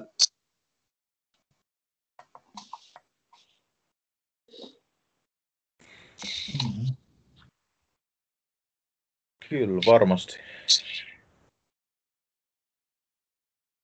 Vai, vai mitä san, sanoo Ossi, olisiko Hakunilla, Hakunilla tähän kommentoitavaa vielä? Niin, no. Se, se on nyt sitten vaan, että keneltä, keneltä mä nyt sitten kysyn, jos JP on niin kuin sen järjestön perustaja, niin, niin häneltäkö mä sitä sitten kysyn? Vai, mä nyt Ei, siis, tota, sori, mä vaan innostun aina, kun mä näen, että te teette hyviä tilaisuuksia, niin sitten mä aina vaan en malta olla hiljaa täällä. Kyllä te tiedätte, mitä te teette. Joo.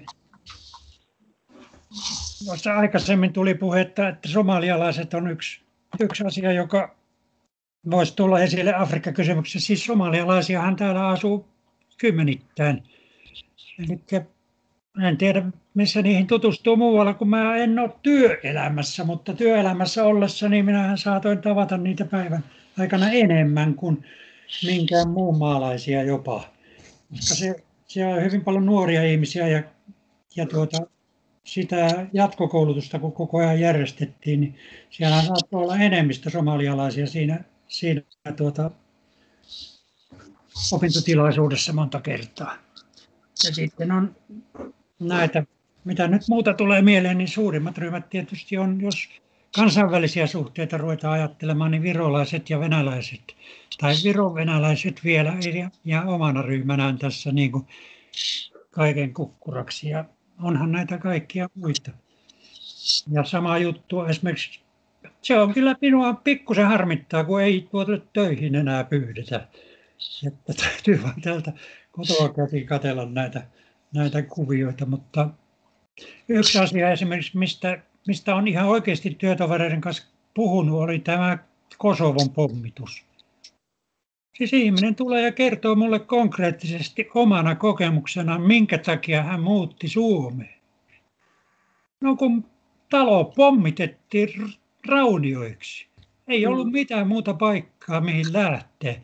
Ja mulla oli bussifirma tuossa, mutta tuota, puh, pommi pudotettiin siihen. Ja kun mä muutakaan osaa kun tätä bussia ajaa, niin mä rupesin siitä ajamaan niitä busseja täällä Suomessa. Että tällaisia ihmisiä kyllä niin kuin olisi, olisi ja miten, miten halukkaita. No minustahan se on tietysti kiinni, niin kuin sanottu, että mä oon nyt mokannut tässä enemmän kuin useamman kerran. En ota koko ajan hihasta kiinni ihmisessä, että tuksa niin kuin luennoimaan meille tai keskustelemaan, ei luennoimaan niinkään, vaan, vaan kertomaan omia näkemyksiä siitä, että mitä, mitä todella on tapahtunut. Monethan on äärimmäisen katkeria, eivätkä halua olla missään tekemisissä oikein kenenkään kanssa, mutta toiset sitten taas mielellään kertovat myös ikävistäkin kokemuksistaan, rasismista ja siitä, kuinka, kuinka vaikea on, niin kuin, kuinka vaikeassa tilanteessa esimerkiksi on tuota normaaliin perussuomalaisen ja ja sitten tavalla tai toisella niin kuin vähemmistöön sorrettuun asemaan, toisen väriseen toiseuteen, niin kuin tässä oli keskustelussa, niin tuota, joka vaatii, niin kuin, jos on kaksi osapuolta jossain rikostapahtumassa esimerkiksi. Toinen on niin sanotusti normaali keskiverto suomalainen ja toinen on sitten jotain vähemmistöedustaja. Ja periaatteessa kumpi tahansa voi olla syyllinen, mitä tahansa niin kuin voidaan niin kuin tuoda sinne esille, mutta kumpi, kumpi saa tuomion? Se on me, melkein poikkeuksetta se vähemmistöläinen, joka tuomitaan tästä rikoksesta. Vaikka molemmat tai toinen olisi enemmän syyllinen. Tämmöisiä kokemuksia olen kuullut tuolla. Tänään näitä riittää loputtomiin näitä tarinoita ja mahdollisuuksia keskustella. On joo, ja sitten mulla mul, mul tuli mieleen, an, anteeksi kun keskeytän, niin tuli mieleen tuosta, kun mainitsit noista tota, somalialaisista, niin, niin eikö tota, toi Jarin mainitsema Rasmus, eli tämä, onko se nyt, mistä se nyt onkaan lyhenne, öö, ra, rasismia vastaan, eli, eli tämä on siis tämmöinen muun muassa Facebookissa oleva ryhmä, Rasmus, ja siis ihan semmoinen järjestö. Sitä kautta varmasti. Ja sitten eikö, eikö Suomessa ole tämä Suomi-Somalia-verkosto, muistaakseni Itä-Helsingissä vaikut, on toimistot. Jari varmaan osaa sanoa. Joo, kyllä on. Niillä on, ja sitten niillä on erikseen pari, niillä on pari muutakin niin kuin pienempää järjestöä. Sitten on tosikin tämä African Civil Society, joka on taas sitten, niin kuin, se on kaikille, se on ei, ei somalialaisille, afrikkalaisille, ei somalialaisille Afrikan eteläpuolisen Afrikan, tai tuossa Saharan eteläpuolisen Afrikan porukoille. Ah, okei. Okay. Eli siis niin kuin, ei niin, niin, niin kuin somalialaisille. Ah, siis niin kuin, on, onko tämä niin kuin ihan, ihan niin kuin tota ar, ar, arvovapaa niin kuin... En, en mä tiedä, mutta, mutta mä ymmärsin, tai... että, mä ymmärsin, että suomalaisilla on niin omat järjestönsä ja näin Aa, aivan. Joo. En mä sano, että, etteikö sille var, varmasti suomalaitakin on, mutta niin, tai voi olla, mutta niin, Joo. Mitäs tota, oisko vielä, en nyt näe tässä lisää puheenvuoropyyntöjä. Haluaisiko Jari vielä sanoa jotkut loppusanat tässä tai onko mielessä? Joo, minä voin tässä näin. Kiitos vaan tosiaankin kaikille kuuntelijoille. To, toivon suuresti, että saatte tästä jotakin irti, ehkä opitte jotakin ja niin poispäin, että mä inspiroin ja että haluatte oppia ehkä tulevaisuudessa lisääkin Afrikan. Ja mä voisin sanoa niin kaikkea sen, että, että Afrikka on kaiken tota, maailman median ja huomion katveissa kaiken aikaa. Eli niin, tota, että kannattaa, kannattaa silloin tällöin ottaa ihan asiakseen ja ehtiä ja katsoa, että mitä ne siellä maailmaa tapahtuu ja on tapahtunut. Se, se avaa niin aika paljon niin erilaisia juttuja. No tässä on tietysti toisaalta tärkeästi, itteni, miten oma helma syntyi, että minun pitäisi latinoalaisen Amerikkaan pitäisi tehdä samanlaisia. Se on taas minun katveessa tavallaan. Eli niin, että aina, aina pitäisi yrittää ehtiä niitä paikkoja, jos ei koskaan kuule mitään ja yrittää ottaa selvää, että mitä siellä tapahtuu. Niin koska tämmöinen Afrikan kokoinen palikka, jos ei tiedä mitä Afrikassa tapahtuu, niin se on merkittävä osa tästä meidän maailmasta vähän niin kuin tuolla, niin, tota, pimennossa aikoinaan itse rupesin lukemaan Afrikan historiaa sen takia, että en tietänyt sitä mitään, koska en halunnut olla, törmätä millään tavalla Suomeen, Suomeen ja toiseen maailmansotaan, mutta niin, tota, kyllä mä sitten tämä Kenia-historia lukiessa niin törmäsin anekdoottiin, jossa niin, tota, Suomi julistettiin olevan Saksan miehityksen alasena, kun niin, siinä Iso-Britannia julisti sodan tälle Suomelle. Ja eikä kahvia ei saanut myyä enää tältä Keniasta Suomessa siinä vaiheessa. Mutta niin, tota, tosikin kiitän kuuntelusta ja tuu ihan mielelläni Rauhanklubille joskus uudestaankin, jos halua on saanut tänne vielä jossain vaiheessa ottamaan vastaan. Eli kiitos kuuntelusta ja Heikki puhukoon vielä loppukaneetin, jos tarvetta. Juu, kiitoksia paljon. Et ei mulla oikeastaan tähän enää mitään lisättävää ole, että et joo, Jari, tuu, tuu ehdottomasti jo seuraava rauhanklubi, että se on tuossa huhtikuun viimeisenä maanantaina, varmistan tuossa kohta, kohta päivämäärän, että oliko se Sirkku, joka oli meille 26. Joo. 26. Siinä oli, niin että kummitoiminnan pohjalta, mutta tämäkin keskustelu nyt tuota, virittää kovasti sitä, että minkä, minkälaisen kokonaisuuden siihen työstäisi ja ketä siihen saisi. Mutta 26. huhtikuuta on tuota, se on kummitoiminnan pohjalta tai tämän kokemuksen pohjalta, mutta tällä hetkellä se on nyt vähän arvoitus sitten, että minkälainen vetävä kokonaisuus siitä saa, tulee olemaan. Varmastikin kiintoisa. Sitä jäämme, jäämme odottelemaan. Mutta mä kiitän kanssa Jaria ja sitten äh, rauhanpuolustajia ja kaik- kaikkia osallistujia nytten hyvistä kysymyksistä, hyvästä keskustelusta ja jatketaan huhtikuussa. Ei muuta